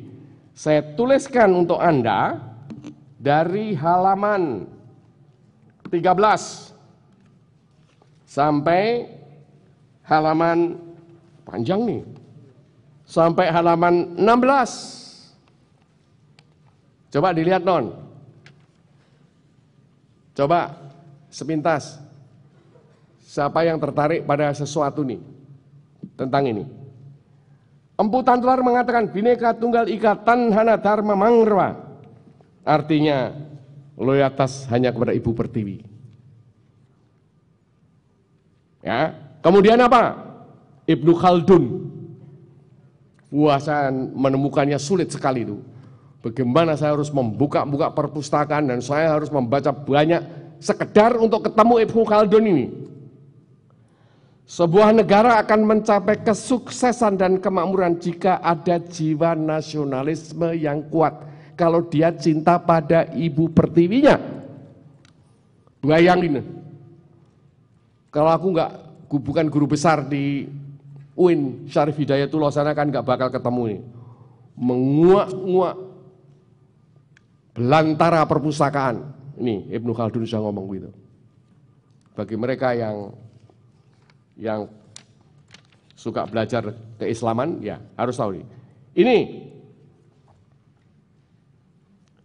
ada Schiller. Di situ ada Patrick Henry. Halaman 14 Patrick Henry. Patrick Henry itu perjurit Amerika, tapi turunan Inggris. Itu tahun 1775 berarti satu tahun sebelum Amerika merdeka. Inggris masih mau menguasai Amerika. Lalu ketemulah prajurit Amerika turunan Inggris, imigran, tapi di Amerika masih umur 16 tahun. Ketangkep serdadu Inggris biasanya menembak atau menggantung Tapi dilihat loh, ini tampangnya tampangnya Inggris nih. Anak kecil lagi umur 16 tahun. You stand up. Apologize. Suruh berdiri, minta maaf, mau dilepasin. Kasihan anak, anak Inggris juga ini. Tentara Inggris mau ngelepasin. Apa Patrick Henry bilang? Ini yang dia bilang. Ya. Dia mengatakan, give me liberty or give me death. Kasih saya kemerdekaan atau kasih saya kematian or kill me. Kalau di sini barangkali nggak usah dikasih kemerdekaan nggak apa-apa asal dikasih utangan gitu. Itu bahasa Inggrisnya give me liberty or give me death. Death itu kematian. Tapi utang itu bahasa Inggrisnya kebetulan hampir mirip death. Death, utang. Give me liberty or give me death. Kasih saya kemerdekaan atau kalau enggak ya kasih utangan. Ini terjadi di Indonesia, Bu. Nah, Anda bisa beli yang lain lagi. Ini Jerman. Saya tidak baca semuanya. Deutschland über alles. Tetapi orang sering mengatakan Jerman ini loh di atas segala ras-ras di dunia, paling tinggi rasnya. Itu Hitler kan gitu. Tetapi maksudnya Hitler tidak begitu. Buktinya kata-kata berikutnya adalah di sini du bist nicht deine Volk ist alles. Jerman adalah segala-galanya. You bukan apa-apa. Bangsa inilah yang utama dan segala-galanya. Ini nasionalismenya Jerman. Anda bisa nih nasionalisme Jerman ada nasionalisme Muhammad Hatta. Baru umur 25 tahun di depan pengadilan Belanda. Setelah membaca 100, 350 halaman pembelaan dalam bahasa Belanda tentu dia berdiri menuding penutupnya lebih baik Indonesia tenggelam ke dasar lautan daripada menjadi embel-embel bangsa lain. Ini Hatta. Anda ada di situ Soekarno. Nah ini Ki Hajar juga ada. Kebetulannya jalan ini namanya Ki Hajar Dewantoro. Iya kan? Ki Hajar Dewantoro ini jalan ini. Betul. Siapa Ki Hajar? Non? Siapa Ki Hajar Dewantoro? Anda nomor dua ya. Ki Hajar Dewantoro itu sama non? Ini jalannya namanya Ki Hajar loh. Siapa? Ya, dia adalah pahlawan nasional, pahlawan pendidikan. Oleh karena itu Departemen Pendidikan di Jakarta menggunakan simbolnya Taman Siswa kayak Garuda Cakra itu. Lalu ditulisi di situ Tutwuri Handayani itu kata-katanya Ki Hajar. Jadi Ki Hajar adalah Bapak Pendidikan Nasional Indonesia dan jalan ini dipilih oleh isi. Jadi ada isi dulu baru ada jalannya belakangan. Hebat enggak? Tepuk tangan untuk isi tuh. ya. Nah, Ki Hajar bilang begini. Pengajaran harus bersifat kebangsaan. Kalau pengajaran bagi anak-anak tidak berdasarkan kenasionalan, anak-anak tak mungkin mempunyai rasa cinta bangsa dan makin lama terpisah dari bangsanya, kemudian barangkali menjadi lawan kita. Ini sudah terjadi. Ini sudah terjadi. Banyak anak-anak muda kita menjadi lawannya bangsa itu sendiri karena menjadi anteknya, menjadi kompradornya kekuatan asing di luar. Udah. Ini diajar mengingatkan. Kemudian di sini Panglima Sudirman, oh hebat. Oh, MacArthur ya hebat. In war there is no substitute for victory. Dalam perang kemenangan tidak bisa digantikan apa-apa. Saya harus menang, itu katanya MacArthur. Maka dia menang. MacArthur itu jenderal perang dunia kedua pada perang Pasifik. Perang dunia kedua, MacArthur. Dia bilang, in war there is no substitute for victory. Dalam perang tidak ada pengganti kemenangan. Harus menang, maka dia menang. di bom itu Amerika, eh apa Jepang di Hiroshima dan Nagasaki di bom dulu namanya belum bom nuklir, itu nuklir juga, tapi zaman dulu disebut bom atom, ya bu, bom atom kalau nggak salah ya. Di sini Panglima Sudirman juga bilang pantang menyerah, lebih baik hancur lebur bersama debu kemerdekaan daripada menyerah di bawah penjajahan. Nah, ini kan kesenian nih. Kusbini, padamu negeri kami berjanji. Ini nasionalismenya Kusbini ini. Padamu negeri kami berbakti. Padamu negeri kami mengabdi. Bagimu negeri jiwa raga kami. Luar biasa. Anda bisa baca ini Kornel Simanjuntak ngomong apa? Ho Chi Minh. Nih, bawah. Kami akan menang perang. Karena kami mempunyai senjata rahasia. Stop sampai situ. Karena dia menang dengan Perancis, ngusir Perancis, Amerika datang. Ho Chi Minh mengatakan, kami akan menang perang melawan Amerika. We will win the war. Because we have secret weapon. Karena saya punya senjata rahasia. Dicari, apa ini senjata rahasia Ho Chi Minh? Jangan-jangan pemusnah massal, jangan-jangan biologi, jangan nggak ketemu. Setelah betul-betul Amerika kalah, Carter jatuh tahun 80, Presiden Carter jatuh. Wartawan tanya, Ho Chi Minh senyum. Apa senjata rahasiamu yang kamu katakan pasti menang perang? Ho Chi Minh hanya senyum. Yang menjawab jenderalnya, Jenderal Giap namanya. Tapi saya baru tahu beberapa bulan yang lalu membacanya bukan Giap, tulisannya Giap, Giap gitu. Karena mereka lidah Perancis jadi ngomongnya Siap. Jenderal Siap. Jenderal Siap yang menjawab, senjata rahasia kami adalah cinta tanah air. You nggak bakal menang you sama RRT you. You nggak cinta tanah air. Bahkan belum tahu tadi, belum tahu tanah airmu. Yang mana sekarang sudah tahu semua karena ada di KTP. Itu tanah airmu. Ya.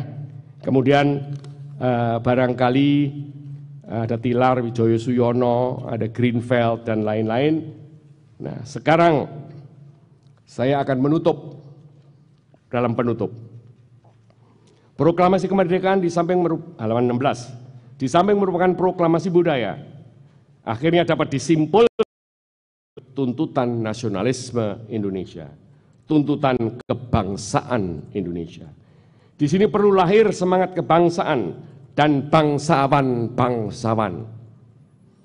Ini saya mengambil dari seorang guru besar antropologi. Karena dia antropolog, aku ya nurut aja guru besar antropologi UI, dia mengatakan semangat kebangsaan dan bangsawan-bangsawan tangguh untuk mempertahankan kemerdekaan. Bangsawan di sini bukanlah tokoh berdarah biru, bukan keturunan ningrat dan daulat dan tuanku diraja. Bangsawan adalah orang yang menyintai dan memuliakan bangsanya. Itu bangsawan. Hartawan orang yang memuliakan hartanya. Wartawan adalah orang yang memuliakan warta. Bangsawan diartikan oleh guru besar itu, aku bangga juga, Bu. Karena guru besar antropologi itu istri saya. Iya. Saya minta sebagai penutup ini, Anda semua menjadi bangsawan menjadi bangsawan ya. Nah, di sini usul saya sebagai berikut 1 2 3 4 5 6 7 tinggal Anda baca sendiri. Ini loh kalau mau nasionalisme ya kayak begini ini. Tetapi ini usul 1 2 3 4 5 6 7 itu lebih cocok untuk ekonom daripada untuk yang lain. Nah, penutupnya adalah Pembangunan ini mesti diartikan oleh banyak orang, meskipun dia bukan ekonom, tapi keracunan gitu. Pembangunan adalah proses mana pendapatan nasional naik, gitu kan?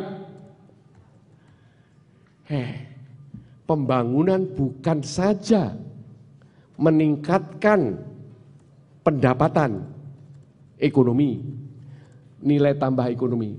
Tapi jangan lupa pembangunan harus pula meningkatkan nilai tambah sosial kultural. Ingat, harus meningkatkan pula nilai tambah sosial kultural. Di dalam sudah ada. Artinya, tidak hanya membuat rakyat itu to have more, memiliki lebih banyak, memiliki gaji lebih banyak, baju lebih banyak, sepatu lebih banyak, uang lebih banyak, tabungan lebih banyak, itu to have more. Tapi juga membuat orang nilai tambah sosial kulturalnya naik. naik. Artinya apa? To be more. Menjadi, bukan to have more, memiliki lebih banyak, tapi to be more, menjadi lebih hebat. Yang dulu makan kakinya naik apa naik kursi seenaknya ya sama makannya bunyi gitu pembangunan membuat dia makan sopan. Saya masih melihat wong saya itu banyak hidup di hotel gitu. Sana kemari kena kemari. Tinggal di hotel yang saya tempat tinggal di Jogja itu bintang 5 itu. Itu kan ya satu malam satu juta itu 1,2 juta gitu. Nah orang ibu dan anak-anaknya tiga dan bapak anaknya kecil-kecil itu tinggal di hotel itu berarti banyak sekali yang dia keluarkan. Tetapi dia hanya to have more memiliki uang lebih banyak. Tidak pernah to be more menjadi lebih hebat. Pak garpunya di sebelah apa garpunya di sebelah kanan pesonya di sebelah kiri dan memegang memegang garpunya begini bukan memegang garpunya begini memegang begini jadi kalau ambil tempe cok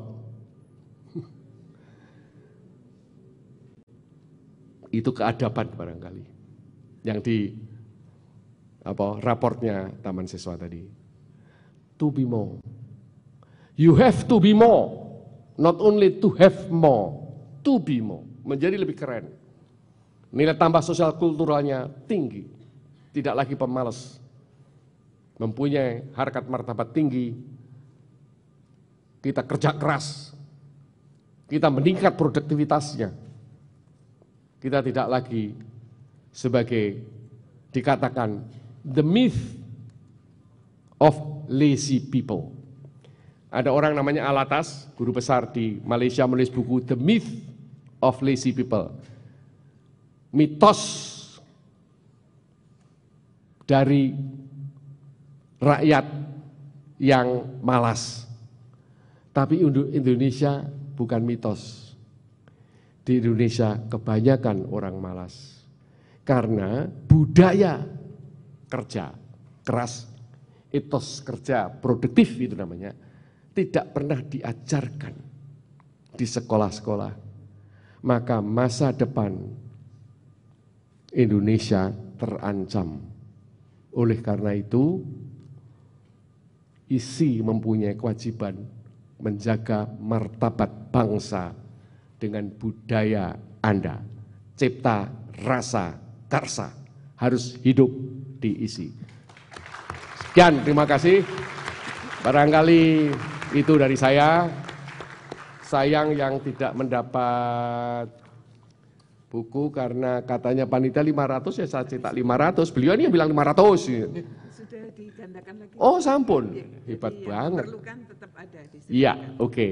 Jadi eh, saya bangga bisa memberi hadiah Anda sehingga kalau Anda bilang bineka tunggal ika, bayangan Anda hebat sekali ini. Ada suku bangsa yang nggak karu-karuan hebatnya ini. Ada orang Osing, ada orang Tengger nggak di sini? Tengger nggak ada ya? Orang Madura ada toh? Madura, Madura. Batak. Batak juga nggak ada.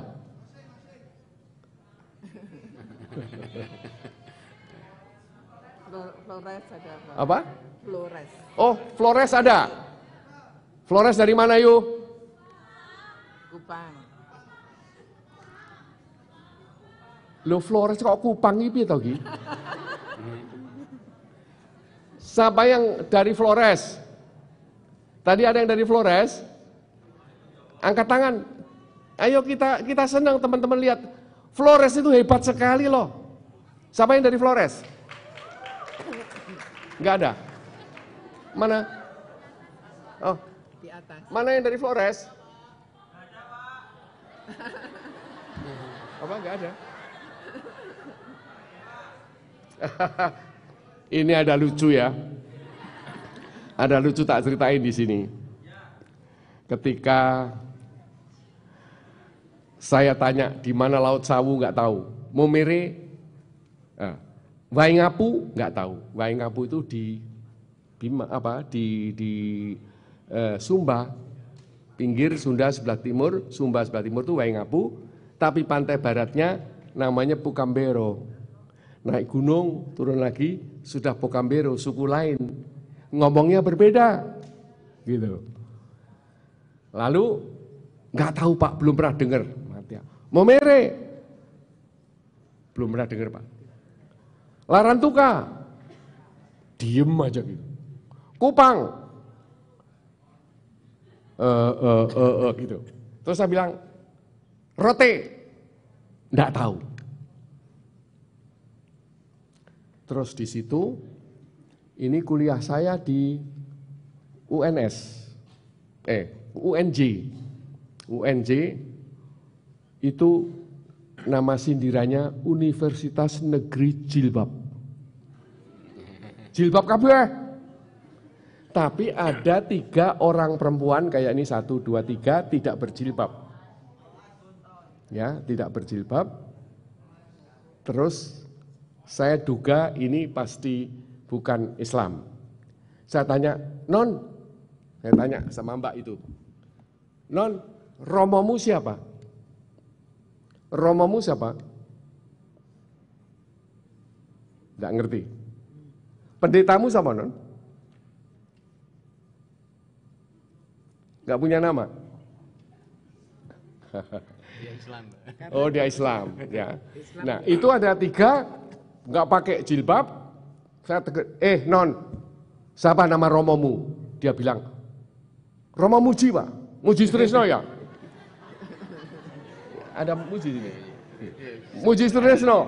Iya, bilang salam ya dari Pak Edi. Ini Pak Prof Muji itu teman saya, itu romonya dia. Berarti dugaan saya nggak salah bahwa itu orang Katolik.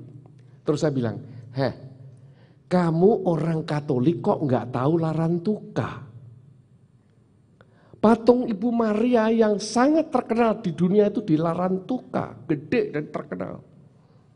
Lah kamu orang Katolik nggak ngerti Larantuka kan? Sama dengan orang Islam nggak tahu Serambi Mekah no? Iya toh? Iya dong. Dia ketawa gitu. Terus saya bilang, nanti kalau tahu ketahuan Pak Franseda, Pak Franseda bisa bangkit dari kuburnya. Tapi tidak ada yang ketawa kayak Anda. Bangkit dari kuburnya menang baik.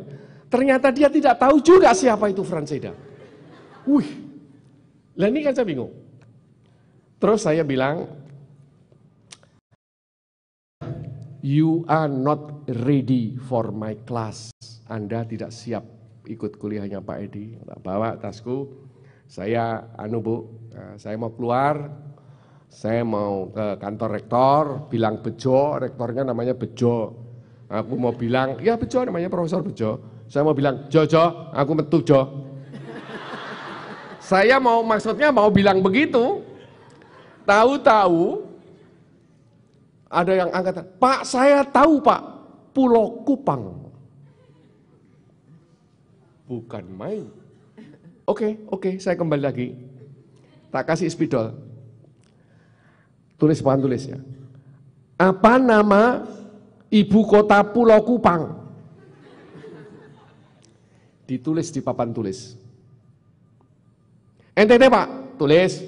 Ditulis betul E N T E T E.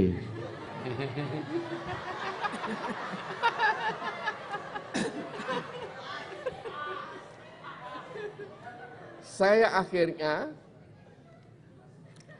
saya akhirnya ketemu Bejo. Wah, gitu kan. Ini pikirannya orang-orang pedanka itu loh. Ya, nggak bisa gitu dong Jo. Sebab nanti orang guru SMA akan bilang, ini salahnya SMP dulu nggak diajari peta. SMP nyalain guru SD. Akhirnya nggak ada yang salah kecuali negara yang salah. Untung KTP-nya ada gambarnya Indonesia. Kalau enggak terus piye kuwi kok. Ya. Ya, sekarang saya bersyukur Bu, terima kasih Ibu Rektor bahwa semua sekarang menjadi lebih tahu Indonesia dan menjadi tahu kesadaran keindonesiaan. Keindonesiaan itu luas sekali. Sayang saya tidak bisa memberi buku buku saya yang salah satu terbaru judulnya Keindonesiaan. Lalu tanya, keindonesiaan itu bahasa Inggrisnya apa? Indonesianism. Karena orang Amerika menyebut keamerikaan juga Americanism. Americanism itu ini, Amerika itu apa tau? Kalau you lihat Amerika apa yang you bayangkan? Koboi itu, ugal-ugalan koboi, pakai jean, jean bagus-bagus, dengkulnya dibolongin, biar keren gitu. Mending dengkulnya bagus, dengkulnya juga jelek kayak tadi yang duduk di sebelah. Yang duduk sebelah sekitar tadi bu, dipotong-potong tuh. Wah dengkulmu elek kok dipamerke yo ya. Nah ini ya, Amerika punya Americanism, maka Indonesia punya Indonesianism. Apa itu kita bentuk? Isi yang harus membentuk. Ya. Terserah Pak. Saya tadi sudah makan singkong di situ, singkong. Karena Pak Edi, ibu ini tahu kalau saya nggak mau makan hamburger dan pizza. Maka dikasih singkong. Tadi udah makan, ini kan udah lapar bu. Tapi kalau mau tanya boleh. Siapa yang mau tanya? Udah semua pengen singkong bu. Oke, kalau gitu tidak ada pertanyaan. Hanya Pak Edi betul tidak makan hamburger, tidak makan pizza. Enak, enak. Pak Edi makan hamburger dan pizza di Amerika. Kenapa? Karena uang yang saya beli hamburger adalah honorarium saya mengajar di Amerika. Jadi uang Amerika kembali ke Amerika boleh. Tapi uang di Indonesia harus untuk ibu-ibu Indonesia.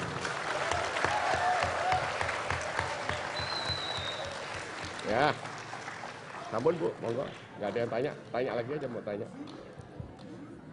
Jadi, eh, terima kasih Prof. Edi, eh, adik-adik yang saya cintai.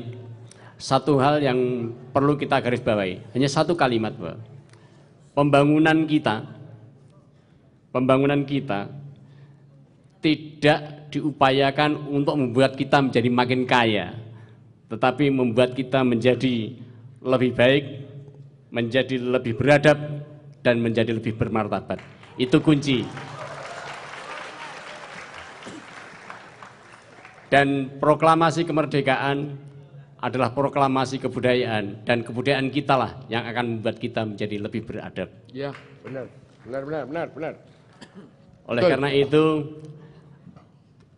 saya ajak adik-adik seperti penjelasan Pak Guntur tadi, penjelasan saya tadi, kita mesti perlu mempersiapkan diri untuk menyongsong menjadi lebih baik, menjadi beradab, untuk menjadi sukses mas- di masa depan.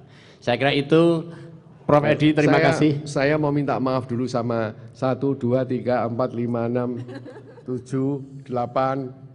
Karena saya ini menganggap kalian tuh murid saya sendiri.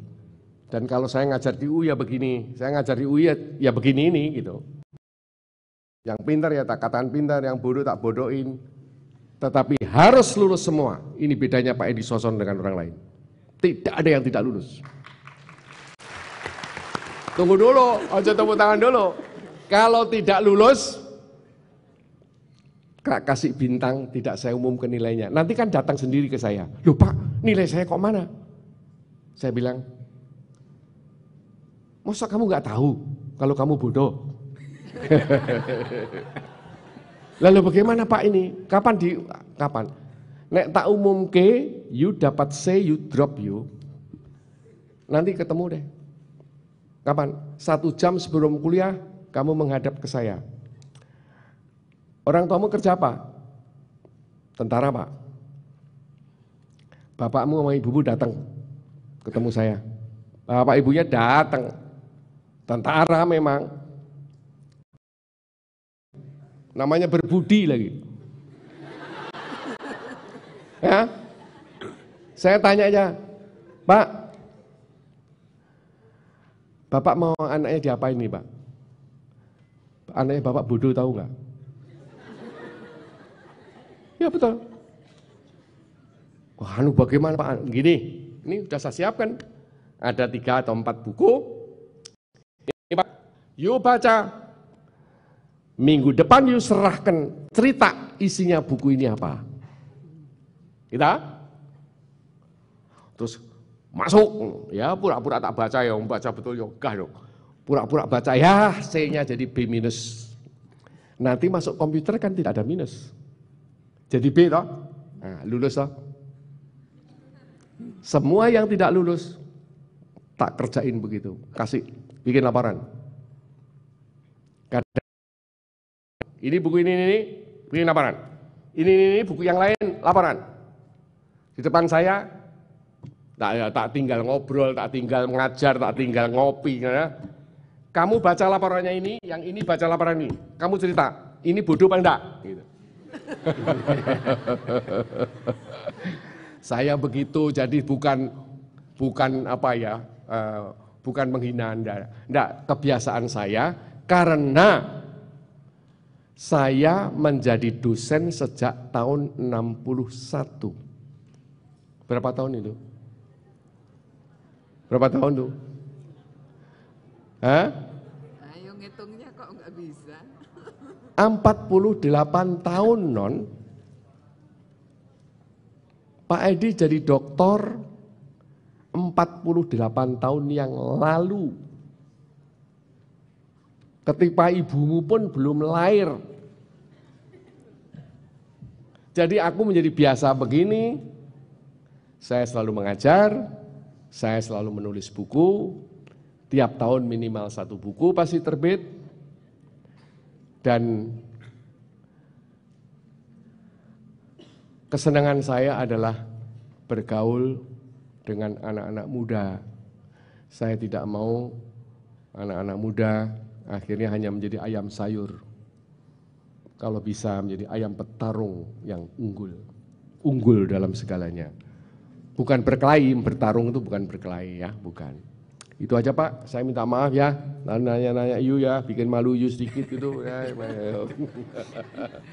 Ya, ya, terima kasih Prof. Eh, adik-adik sangat sangat sayang pada Prof. Edi sehingga eh, mereka tidak merasa eh, dipermalukan, tapi ini adalah perlakuan bapak pada anaknya. demikian, terima kasih sekali lagi Prof. tepuk tangan untuk Prof. Edi.